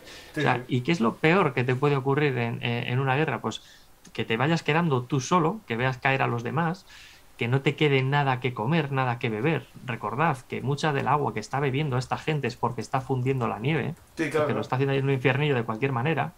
Y luego eh, el tema de la comida. Eh, la gente que se queda en la periferia abandonada a su suerte, eh, muchas veces tiene que ir a saquear lo primero que pilla. Y, lo primero que pilla son caballos muertos. No hay que olvidar. Y que había muchos, ¿eh? Que había muchos. porque hay que recordar que el ejército alemán era el móvil.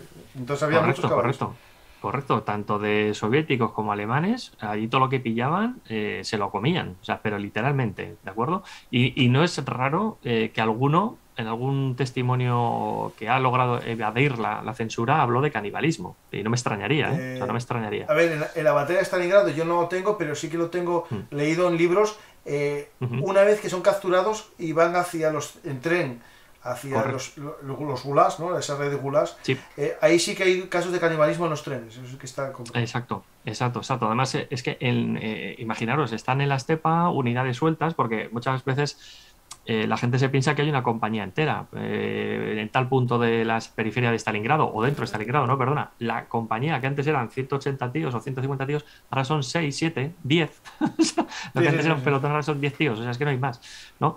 Entonces, algo que, que realmente llama la atención cuando hemos pasado ya esas navidades del, del 42 y ahora estamos ya en, en, enero del 43, em, todos los aeródromos van cayendo uno detrás de, de, otro. Eh, Sansiskaya, eh, Pitomnik, eh, Gumrak han ido cayendo uno detrás de otro y hay literalmente tortas por subirse a los aviones, hacerse el herido para, salir de allí, ¿no?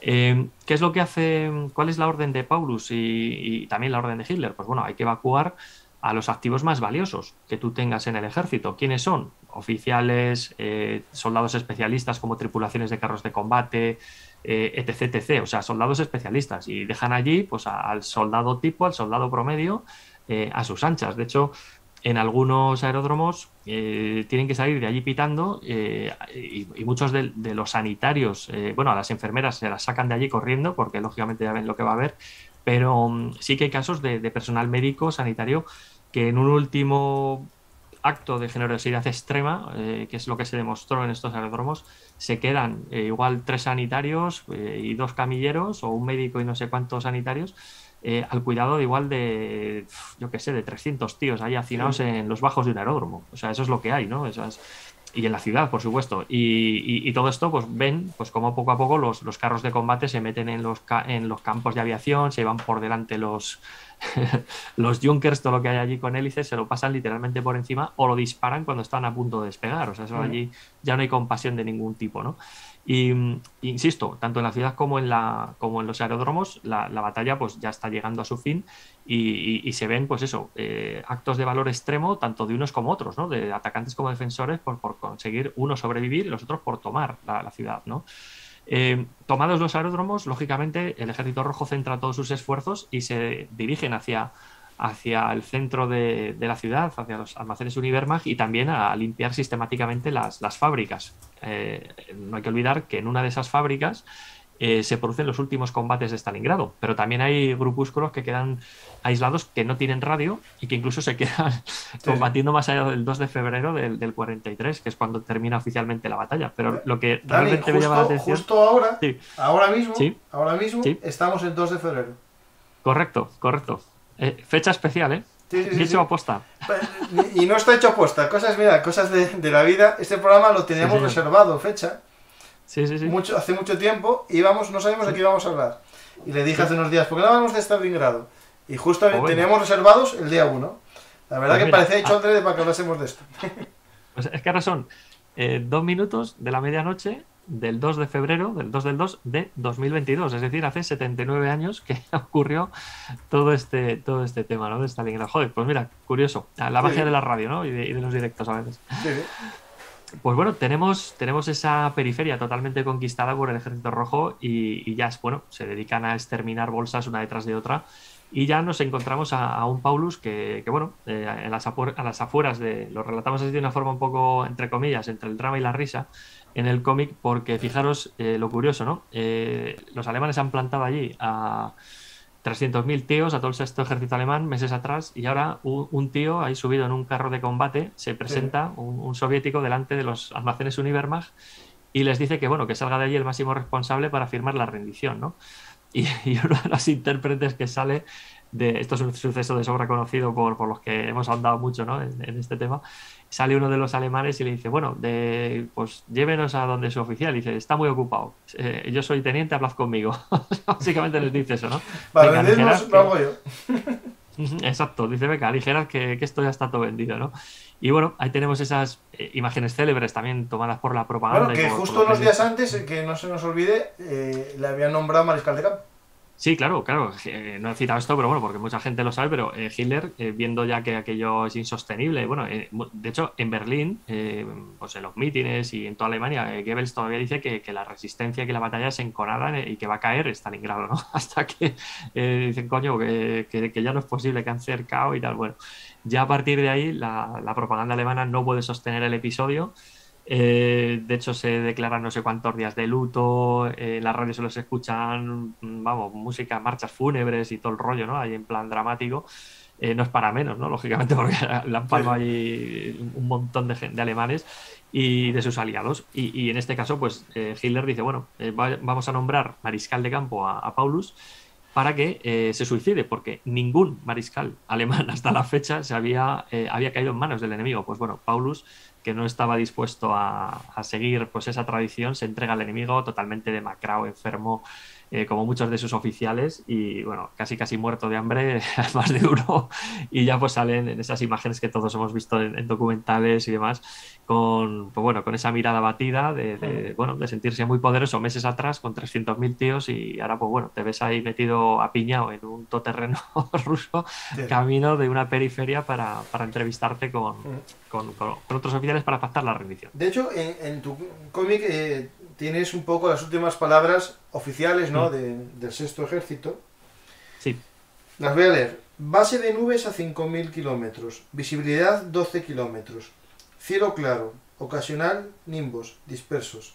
Temperatura 31, menos 31 grados centígrados. Sobre Stalingrado. Niebra y calima rojiza. La estación meteorológica acaba la transmisión. Saludos a la patria. Mm, así es. Ese es uno de los últimos mensajes oficiales que, se radia, ¿no? Eh, digo oficiales por durante la batalla, ¿vale? Que es más o menos a las, al mediodía. Sí, a, las 12.35. 12, 12 y pico, exacto. Eh, pensad que eh, algunas unidades a estas horas siguen luchando en Stalingrado. unidades pues, que están dispersas, incomunicadas con el mando, que es en este caso Paulus, que se acaba de rendir. ¿Por qué, siguen, ¿Por qué siguen combatiendo? Porque lógicamente el puesto de mando principal ha caído, no les llega información y de los poquitos que queda, pues es una estación meteorológica que está por ahí, que ya va a quedar en manos del enemigo. Y bueno, se dan luchas eh, que, casi se prolongan en algunos sitios unas, hasta una semana después. O sea, me ha llegado algún caso de, gente que está pegando tiros pues hasta que se le agota la munición. Y, algunos, pues bueno, ya viéndose perdidos, pues, pues se suicidan, se inmolan, pues os podéis imaginar de todos los casos y, de todos los colores. ¿no? lo, que, lo que el espectador medio escuchó igual que yo y a lo mejor lo dejó pasar, pero estamos hablando de menos 31 grados de temperatura. Sí, sí, sí, sí. Es que esto, bueno, hemos dejado de hablar de la temperatura hace, unos minutos, pero señores, estamos a 30 bajo cero. ¿eh? Y, no hay nada de, calefacción, ni gas, ni nada parecido, y no hubo un corte de gas todavía. Es decir, no, no, no, eh, ya, o sea, eh, se dio la paradoja de que sí que había algún almacén oculto, entre comillas, que lo conocían algunos oficiales, que estaban cerrados a cal y canto, que había víveres, había material de combustible para calefacciones, para estufas. Y bueno, paradójicamente, pues se lo encuentran los rusos o alguna unidad de desperdigados que combate por ahí. Que por ejemplo, este episodio, entre comillas, sale más o menos bien reflejado en la que para mí es la mejor película que se ha tratado la batalla de Stalingrado, que es la de los años 90. Ah, no, no, no tengo dudas ninguna, ¿eh? Mm. de hecho, eh, tengo aquí la mm. portada que, que la íbamos a compartir y hablar un poco de ella y alguna escena. Realmente para mí la batalla de Stalingrado, bueno, y libros y tal, sigue siendo esta película. Yo creo que la película alemana, ¿no? Sobre la batalla de Stalingrado es muy buena porque vi soviéticas también, y, no, eh, rusas, perdona, y son demasiado propagandísticas. Esta sí que es dura, es decir, es dura, eh, no oculta que los combates, el heroísmo de los combates, pero tampoco la dureza y la, la miseria, ¿no? Es decir... Sí, sí, sí, además se recoge de una forma, a ver, no voy a decir que aséptica, pero mm, tampoco para lavar la cara al ejército alemán, ni mucho menos, pero es que está muy, muy fuera de lo que es el, Hollywood. O sea, está, muchos hemos visto películas de Hollywood o, la propaganda soviética. Eh, o cines más patriótico. Esta, esta película está, yo creo que en un punto más o menos neutro, que, bueno, a ver, todo, todo, el mundo puede tener su opinión, pero a mí me gusta mucho pues que se ve las barbaridades que hacen los dos ejércitos en todos los sentidos y, y sobre todo eh, cómo la, moral de, la gente que en un principio les ves ahí en Italia, ¿no? Una tropa especialista, ¿no? Tropa de asalto, y cómo llega allí Beto el Percal y dice, madre mía, y, la moral va bajando y tal. Bueno, es, terrorífico, ¿no? De hecho, no es una película ni belicista ni antibelicista. algo neutro. Yo creo que es algo neutro en muchos sentidos. dice, mira, esto, esto es la guerra, o sea, esto es lo, que, lo que nos podemos encontrar, ¿no? Y, se ve perfectamente lo mejor y lo peor que puede hacer un ser humano en, una batalla, en una guerra concreto, ¿no? Y la verdad que en el, en el cómic hemos intentado un poco respetar el espíritu de esta, de esta película eh, o de otros documentales que más o menos recogen con, con mucha fidelidad eh, las salvajadas que tuvieron que soportar, soportar los, los testigos que combatieron allí en, la batalla. Así que bueno, eh, esperemos que el, que el cómic eh, sea una primera aproximación para muchos, pero también eh, la gente que ya es más, más ducha, más veterana en, la guerra, en la Segunda Guerra Mundial, en la batalla de Stalingrado, descubra la batalla desde un punto de vista más humano, más, más cercano el que nos dan los ensayos de historia. También es otra cosa, es decir, a ver, es como todo, no, es que yo soy muy intelectual y solo leo ensayos, no. yo realmente veo películas, leo cómics y, a ver, es que es como todo, ¿no? En la vida tienes que disfrutar de una cosa de, de varias formas distintas, ¿no? No, solo me gusta la carne, no, pero bueno, eso es cierto, pero me gusta también la carne en hamburguesa y la carne en salchichas. Correcto, correcto. Sí, sí, sí, pues, pues en este caso el cómic busca eso, que tiene una parte más enciclopédica, más académica, que va siempre precedido cada capítulo, como, como hemos ido desgranando, con, eh, con un texto eh, de una carta, luego un texto más académico, etcétera, etcétera, ¿no? Ahí tenemos, ahí tenemos. Eh, unas imágenes para que veáis y que me... Estas son las mm. escenas finales que son como añadidos. Una galería. Se ve una, galería, de imágenes muy buena. Y después tenéis ya aquí una escena que es fantástico. O sea, el cómic es muy bueno, está muy ilustrado. Y, y, merece la pena. El que lo quiera conseguir es fácil, Esfera lo consigue es fácil. Y si no, en la propia descripción aquí del programa tenéis un enlace de compra a Amazon. Y si queréis también haceros con el, con el libro anterior que citó Daniel sobre sus héroes de la guerra, pues también ahí entráis. Bueno, y todo lo que queráis, entráis por ahí, por cualquier enlace de Belugartis y ayudáis gratuitamente, no es un sobrecoste, y, ayudáis al mantenimiento de Belugartis solamente si sois de Amazon y compráis en Amazon, pues entrando por cualquier enlace a comprar cualquier cosa. Yo que estoy aquí ya como las.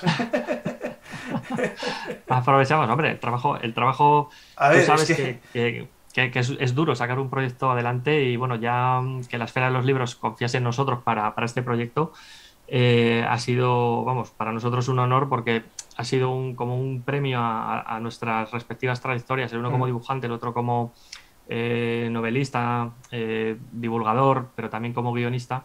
Y la verdad que, mm, que bueno, nos, nos, nos, hemos quedado... Yo, yo, si te digo la verdad, Francisco, tú me conoces una persona bastante eh, humilde y cercana y bueno, tampoco le doy mayor importancia, pero yo creo porque no, soy consciente de la repercusión que ha tenido el cómic, ¿no? Porque que se fije en ti el Instituto Naval Americano y su editorial, una de ellas, eh, que se haya traducido al inglés y que eh, El tema es cómo llegó allí, cómo llegó allí. Pues si te digo la verdad, es un misterio de estos que guardará hasta la tumba Antonio, porque tiene muchos contactos en el mundillo eh, de la ilustración. Y bueno, él, ha trabajado para muchas editoriales en España y se mueve mucho también por, por el extranjero, porque por desgracia en, en, en, España no se vive de esto, o sea, nosotros no vivimos de, de, dibujar o de hacer cómics para... Ni, para ni de escribir libros, algo que seas... Ni de sí, el típico de turno que todos sabemos, no se vive, ¿no?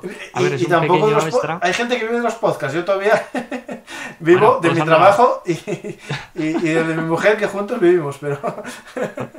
todo, se andará, todo se andará, que, el empuje que está teniendo el canal es potente, ya lo sabes. Sí, sí, sí. Pues eh, para nosotros, más que la repercusión que ha tenido, que insisto, yo todavía no soy consciente de, la relevancia que ha tenido porque, a ver, a todo el mundo no le va a gustar el cómic porque siempre va a haber alguno que te dice, pues es que os habéis dejado tal episodio.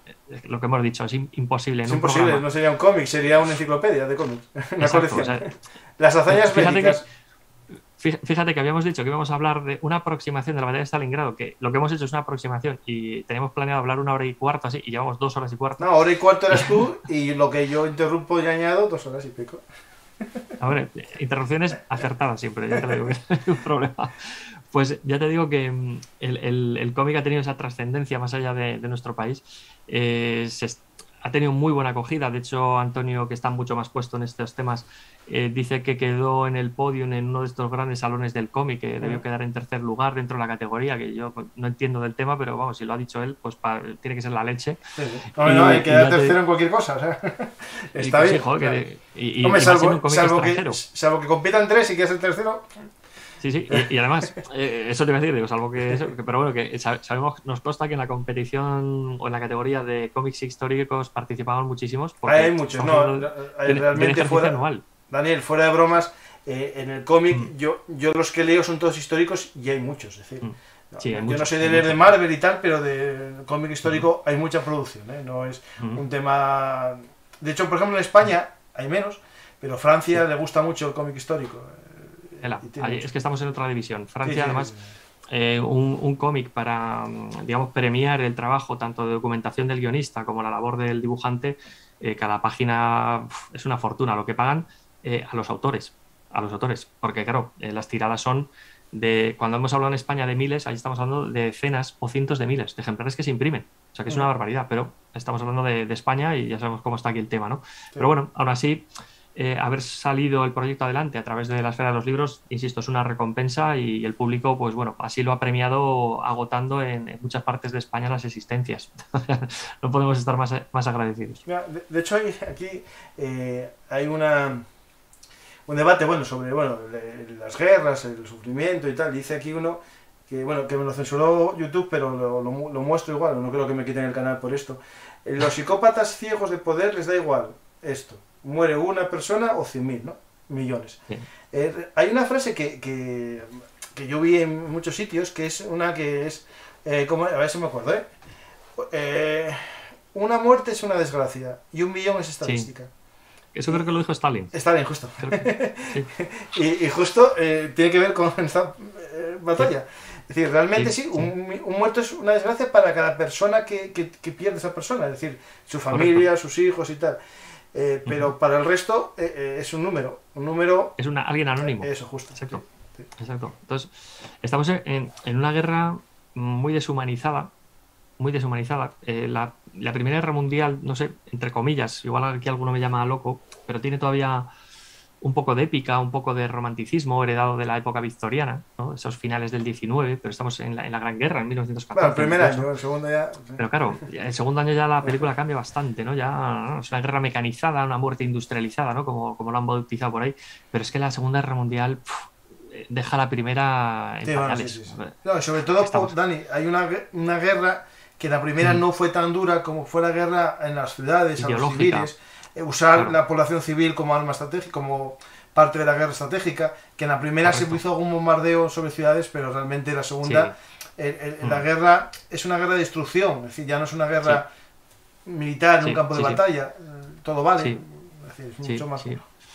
Hay un, hay un, libro que me leí yo en inglés hace años, eh, The Wage of Destruction, que, que, es impresionante. No recuerdo ahora el autor, pero me dejó marcado porque te habla de esto, ¿no? de, la, de la inmensidad de la destrucción de la Segunda Guerra Mundial a todos los niveles, económico, sociológico, eh, militar, mm, ecológico, o sea, una, burrada, de verdad. es, un, es un libro que recomiendo mucho, que lo encontré en inglés, no sé si estará traducido al cristiano, pero eh, al castellano, pero eh, la verdad que fue impresionante, ¿no? Y, eso fue el reflejo. Insisto, hay muchísimos libros que hablan de la Segunda Guerra Mundial, eh, y, en particular de la batalla de Stalingrado, pero hay mucha gente que va por el libro de Vivor, tal vez porque es el bestseller, porque es el, el, autor que más ha humanizado a lo mejor el combate, ¿no? Pero hay uno de lomo amarillo, le tengo aquí a mi izquierda, de William Craig, creo que se llama el autor. Lo voy a buscar mientras hablo Armas, batalla. Que creo que es. Eh, Arma. Stalingrado, William Craig, creo que es el, el autor. William Craig, sí, sí, sí, sí, lo tengo yo. Lo tengo yo. La batalla de Stalingrado. La batalla por Stalingrado. la batalla por Stalingrado, correcto. Pues lo, para mí, lo estaba buscando ahora aquí en, en, el buscador mientras hablaba. Y es un librito, a ver, es potente, tiene muchísimas páginas. Ese mismo, ese mismo, exacto, exacto. Pues tiene un, montón de páginas, o sea, una barbaridad, pero recoge muy bien el, tema humano. A mí me gusta muchísimo. Mejor que Vivor, ¿eh? que incluso a veces es un poco efectista, ¿no? Que busca y dar esa pincelada, ¿no? Para buscar más el éxito, a lo mejor, del proyecto.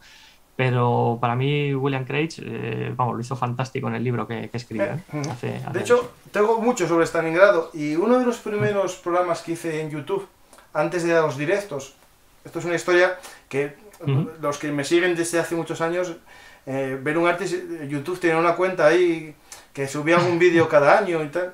Y este vídeo lo subí en el 2018, en enero. Es un vídeo, mi biblioteca de Stalingrado. Muestro, abro mi biblioteca y saco los libros que más me gustan sobre la batalla de Stalingrado. Y tengo algunos de ellos. Por ejemplo, para mí la novela es Vasily Grossman, su vida y destino. sí. Eh, y tengo, el que lo quiera ver está poniéndose ahora mismo, pero puede buscarlo en el historial de Belun Artis en YouTube y ver mis recomendaciones. Y, claro, este vídeo tiene dos años, yo tengo más libros que los que recomiendo aquí. Pero el de William Gray, que fue el primero que leí, me parece, yo creo que es anterior. Eh, espera, ¿en qué año leí este libro? En el 2004 lo leí. Sí. Y el de, el de Vivo en el 2005. O sea, leí primero a Gray que a, sí. Yo también, yo también leí primero a William antes que a, que Anthony. Sí, sí. Y además, mira, una anécdota así que cuento como curiosidad. Tú sabes que soy gran aficionado del, heavy metal y del metal en general, de casi todas sus variantes. Em, hay algunos grupos que han tratado la batalla en sus, en sus discos. Por ejemplo, Accept, que es uno de los que más me gusta, eh, eh, uno de esos grupos míticos, del cual llevo hoy una sudadera, no sé si se ve muy bien por aquí. No, no sé, así, ahora sí. ahora, sí. ahora, me gusta más con la época de Udo, eh, el cantante original, tengo que decirlo. Pero se hicieron un, un disco sobre la batalla de Stalingrado monográfico, ¿no? que se llama así Stalingrado, e incluso llegaron a dar conciertos en la, en la propia ciudad de Volgogrado. Es algo bastante, bastante curioso, ¿no? Cómo luego la música es capaz de unir eh, o de limar esas diferencias ¿no? que a lo largo de la historia ha, ocurrido. Em, ¿Por qué digo esto del heavy metal y tal? Porque fíjate, eh, cómo los que nos encanta la historia aprovechamos cualquier minuto para leer. Recuerdo que esto sería el año 2000 eh, más o menos, joder, ha llovido ya hace 22 años, estaba grabando un disco con un grupo que tocaba yo hace, hace muchísimos años. Y eras joven, ¿eh? Y era, joven y tenía pelo, tío, y tenía pelo. Fíjate tú, tenía el pelillo largo y todo. Eh, y recuerdo que estábamos, lo típico, eh, grababa uno la batería, luego el bajo, luego las guitarras, la voz, es que no sé igual, los teclados, tal. Y, y me acuerdo que eh, me llevé para ese viaje porque vamos a estar varios días fuera, fuera de Burgos y tal, y pues lo típico, ¿no? que si en un hotel, pues tal, no sé qué, en el estudio de grabación, y me llevé ese libro para ir leyéndomelo en los espacios muertos, en los ratos muertos. Yo me estaba leyendo el libro, tío, me acuerdo perfectamente de esa anécdota, ¿no? Como, como y, además me acuerdo que estaba leyendo eso y digo, joder, qué, qué, bueno, ¿no? Y luego, pues fíjate, también ha servido de inspiración para, para otros mm, grupos, más punteros, por supuesto, como, como hace para hacer discos monográficos, ¿no? es algo increíble, ¿no? Como luego con la música, pues también puedes hacer llegar a mucho público eh, estas barbaridades, ¿no? Que fue la guerra para intentar que no se repita. Ahora, se me acaba de ir el nombre ahora mismo. Eh, sí. Espera, voy a buscarlo. Porque hay un grupo de música rock eh, actual. Ah, los, los, suecos Sabaton. Los, perdón, los de... Que cantan música de los tercios. Ah, vale, vale, vale. creí que decías unos suecos que se llaman Sabaton. No, no Sabaton sí, no, no, no, sí, sí, Sabaton sí, sí, sí, sí, sí, sí, Me parecen muy comerciales, ¿no? Estos son, estos son Uro, el canto del Uro o algo así. Ah, vale, sí, sí, que eh, tocan eh, música... sí, música como de los tercios, han puesto bandas sonoras sí, sí, Empezaron como las de Lezo hace tiempo. Sí, sí, sí. un intento con la música rock heavy, ¿no? Dar como una especie de música histórica y es interesante. Es, Sí, que aquí, por ejemplo, en España hubo un grupo que yo sigo desde sus comienzos y que fui a ver uno de sus primeros conciertos que, dieron en Burgos, que, que, son Tierra Santa, que hablan en su día de cosas medievales y tal. Es un grupo que a ti que te gusta mucho el tema medieval y demás, que te, te les recomiendo porque hablan de historia en mogollón de sus letras. O sea, te, va a gustar muchísimo. Tierra Santa, ¿eh? te lo recomiendo. Bueno, busco, busco. sí. A ver si me engancho al heavy, que nunca me enganché, a ver si me engancho mayor. bueno, eh, todo, todo sea por, dejar la buena herencia musical de unos no, ya, ya lo busco después y si no me mandas un enlace ahí a, Perfecto, pues los, los, primeros de Tierra Santa, espectaculares. Vale, pues lo buscaré. Pues eh, Daniel, ha sido como siempre un, un placer hablar contigo de nuestra pasión compartida, que es la historia y espero que el público haya disfrutado como yo y espero como tú, hablando juntos de, de la batalla de Stalingrado, una visión, ¿no? Es decir, básicamente lo que quisimos fue plantear una visión con ese toque humano, ¿no? Esas cartas, para eh, bajar el zoom y no hacer como esa cita, ¿no? De que una muerte es una desgracia y un millón es estadística, sino ver que cada soldado que murió en, en la batalla de Stalingrado que mm. no hablamos de cifras, pero se habla de un millón de bajas en, los dos bandos, eh, bajas como heridos, prisioneros de guerra, y de los prisioneros de guerra solo sobrevivieron 5.000. Sí, de un total de unos 100.000 que se capturaron. o sea, que fíjate, que es que, claro, eh, toda esta gente. Em, hay mucha gente que, dice, wow, es que el trato de los rusos fue criminal en los campos. Que no digo que no, ojo, pero es que mm, muchos fueron cayendo como moscas camino del Gulag. O sea, que es que estamos hablando de gente que llevaba días sin comer, gente que estaba enferma desde hacía meses, ¿eh? que lo hemos comentado, que los primeros casos chungos ya se empezaban a dar en, octubre, noviembre, y, esa bolsa de unos 100.000, que son los que sobreviven, que se rinden en Stalingrado, empiezan a peregrinar por distintos campos y lógicamente aunque el personal soviético pues bueno les daría el tratamiento médico que se puede esperar de tu enemigo encorado pues que sería en unos sitios buenos en otros lamentable como en todos los lados pero está claro que, solamente sobreviven 5.000, eh, pues gracias a que igual tenían un estado de salud bueno o aceptable en el momento de caer presos. Un poquito mejor. Y no tuvieron el miramiento a lo mejor de comer a un compañero, es decir, que eso es así. Correcto, correcto, sí, sí, así es. Eh, eh, es. es duro, pero es así. Y tuvieron a lo mejor la suerte que tampoco les pegó un tiro a lo mejor un soldado cabreado porque habían destrozado su pueblo, que también pasó, es decir, eso... Sí, sí, sí, sí, porque de hecho eh, algún episodio recogemos en el cómic de mm, casos documentados de, de, soldados que iban quemando con lanzallamas los soldados donde había alemanes y los iban quemando literalmente o tirando granadas. Eso mm. es así, es que ocurrió. Eh, Entonces, pero bueno, eh, hemos intentado dar una aproximación un poco distinta, alejándonos un poco de los datos y tal, que ya sabes que a mí no me gusta, prefiero que, eh, recomendar libros que la gente se empape por sí mismo, em, o que lea alguno, lógicamente, del, blog de, de Belumartis, Historia Militar, que, tenéis pues esa información ahí a disposición, pero sobre todo los libros, que acudan a los libros, que tenemos ahí mucha información. hay que leer, hay que leer. Eso es, y, porque hay que leer como sea. Y, ya te digo, ya, está... tiempo a leer, pero bueno. Pues que estás aquí todo el día metido, macho. tenemos que, tenemos que hacer una. Esto fue una semana extra, ¿eh? La de esta semana con cuatro programas, ya te lo conté, fue una extra. Y espero que no haya muchos. Bueno, pues, pues poquito a poco eh, a retomar la normalidad, Francisco. Pues eh, Daniel, muchas gracias. Espero que, que vuelvas. Eh, hablaremos después de fechas. Que ya será para mayo, junio, ya te lo digo porque tengo la agenda súper ocupada y como no quiero meter más de tres programas, ya estoy dando citas para junio, mucha gente, como te comenté. Perfecto. Pues oye, de cara a junio casi mejor, porque ya sabes que me he metido, sigo haciendo estudios en la universidad y demás. Y bueno, de cara, como tengo un poco con el trabajo, pues también estudiar y estas cosas. Sí, sí, es lo que Así que para cuando termine en junio, si llego vivo, prometo intentarlo, aquí como los últimos de Stalingrado, llegar con vida al final del cautiverio académico. Pues Así que para junio nos vemos. Muchas gracias, Daniel, y, al resto, y a, todos os recomiendo su, su cómic al igual que el resto de sus libros sobre la batalla de Berlín y el que tiene sobre la escuadrilla azul. Es una recomendación que hago de verdad porque vais a disfrutar. Este cómic lo disfrutaréis mucho más porque es un cómic y eso se disfruta siempre. Pues, eh, como siempre os pido a todos, eh, y dicen los youtubers y tales, si os ha gustado este programa, darle a me gusta, compartir y si sois nuevos en el, en el canal de Benum Artis, en YouTube o en Evox, eh, suscribiros y dar a la campanita, esa campanita que os avisa de los nuevos programas, para que os enteréis. Pero bueno, que sepáis, los nuevos, que martes, jueves y domingos suelo estar aquí eh, en directo con mis amigos y colaboradores para hablar sobre historia militar. Digo hablar porque la gente que ve, que ve a un Artis, eh, yo intento llevar un diálogo y añadir cosas, no, no escuchar de hola, os presento a Daniel y al acabar el programa, muy bien, Daniel, me ha gustado mucho, mucho tu programa. Ahora, hasta el siguiente. No, yo intento interrumpir porque creo que, que, puedo aportar cosas y a veces lo que puedo aportar es que no me entero de nada y quiero que me expliquen algo porque al igual que el público necesitan a veces una parada y, un descanso para que más o menos recapitulemos, ¿vale? Lo digo porque si hay gente que no conoce el programa... Sí, lo digo, perdón, que te interrumpo ahora, pero eh, de verdad, eh, las intervenciones que hace Francisco, joder, es un tío ducho en historia y, que pensar, yo no vengo a un programa a soltar una chapa de tres horas porque no, no, es mi estilo, no me gusta y con Francisco pues siempre que vengo aquí me gusta pues casi casi que sea todo improvisado y sin recurrir a datos y tal, porque esto es así. Improvisado fue, ya te digo yo.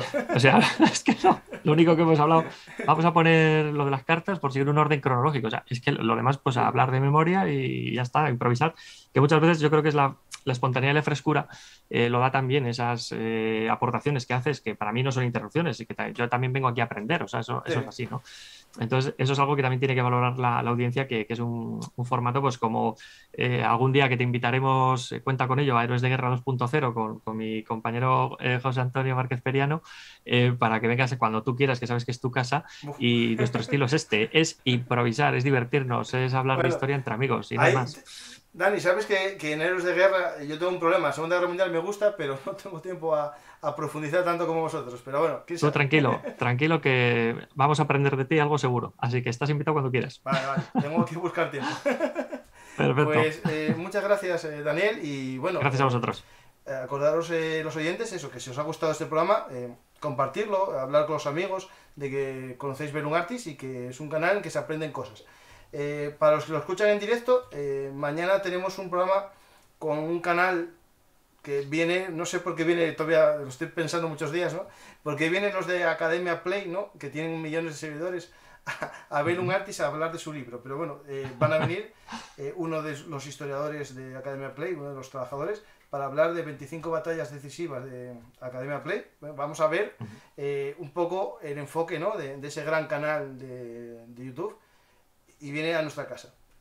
El pasado mañana, el miércoles, eh, viajamos a Normandía y saltamos, y te va a gustar, Dani, te va a gustar, saltamos sí. con la, los, eh, los, soldados británicos de la aerotransportada, saltamos, uh -huh. digo, y también descendemos en, en, un planeador sobre el puente Pegaso, la batería de Merville y todo, uh -huh. la operación Tonga en, sí. en, el flanco este de Normandía. Y el domingo sí, nos vamos a Lepanto, con Agustín Ramón Rodríguez, que es uno de los grandes eh, gurús, así, el genio ¿no? Eh, de, la época de los tercios navales, ¿no? de la Armada Española hasta el siglo XIX, tiene libros. Es yo creo que si hablamos de historia de España y Armada, a, a, la gente que sabe le viene Agustín. Y nos va a hablar sobre la batalla de Lepanto y su contexto histórico. Por lo tanto, espero que disfrutéis. Y esta semana está cargada y la siguiente también, con tres programas en vez de cuatro. Pero bueno, espero que, disfrutéis. Y muchas gracias a todos por vuestro tiempo, por disfrutar de ver un artist. Y a los nuevos, que este programa hubo mucha gente en directo, más de lo normal. Espero que os suscribáis y os guste el resto de nuestros programas. Y para todos, eh, saber que si os gusta nuestro trabajo, nos podéis invitar a un, a un café o un sándwich en nuestro sistema de micromecenazgo en patreon.com barra Muchas gracias a todos y hasta la próxima historia hablada.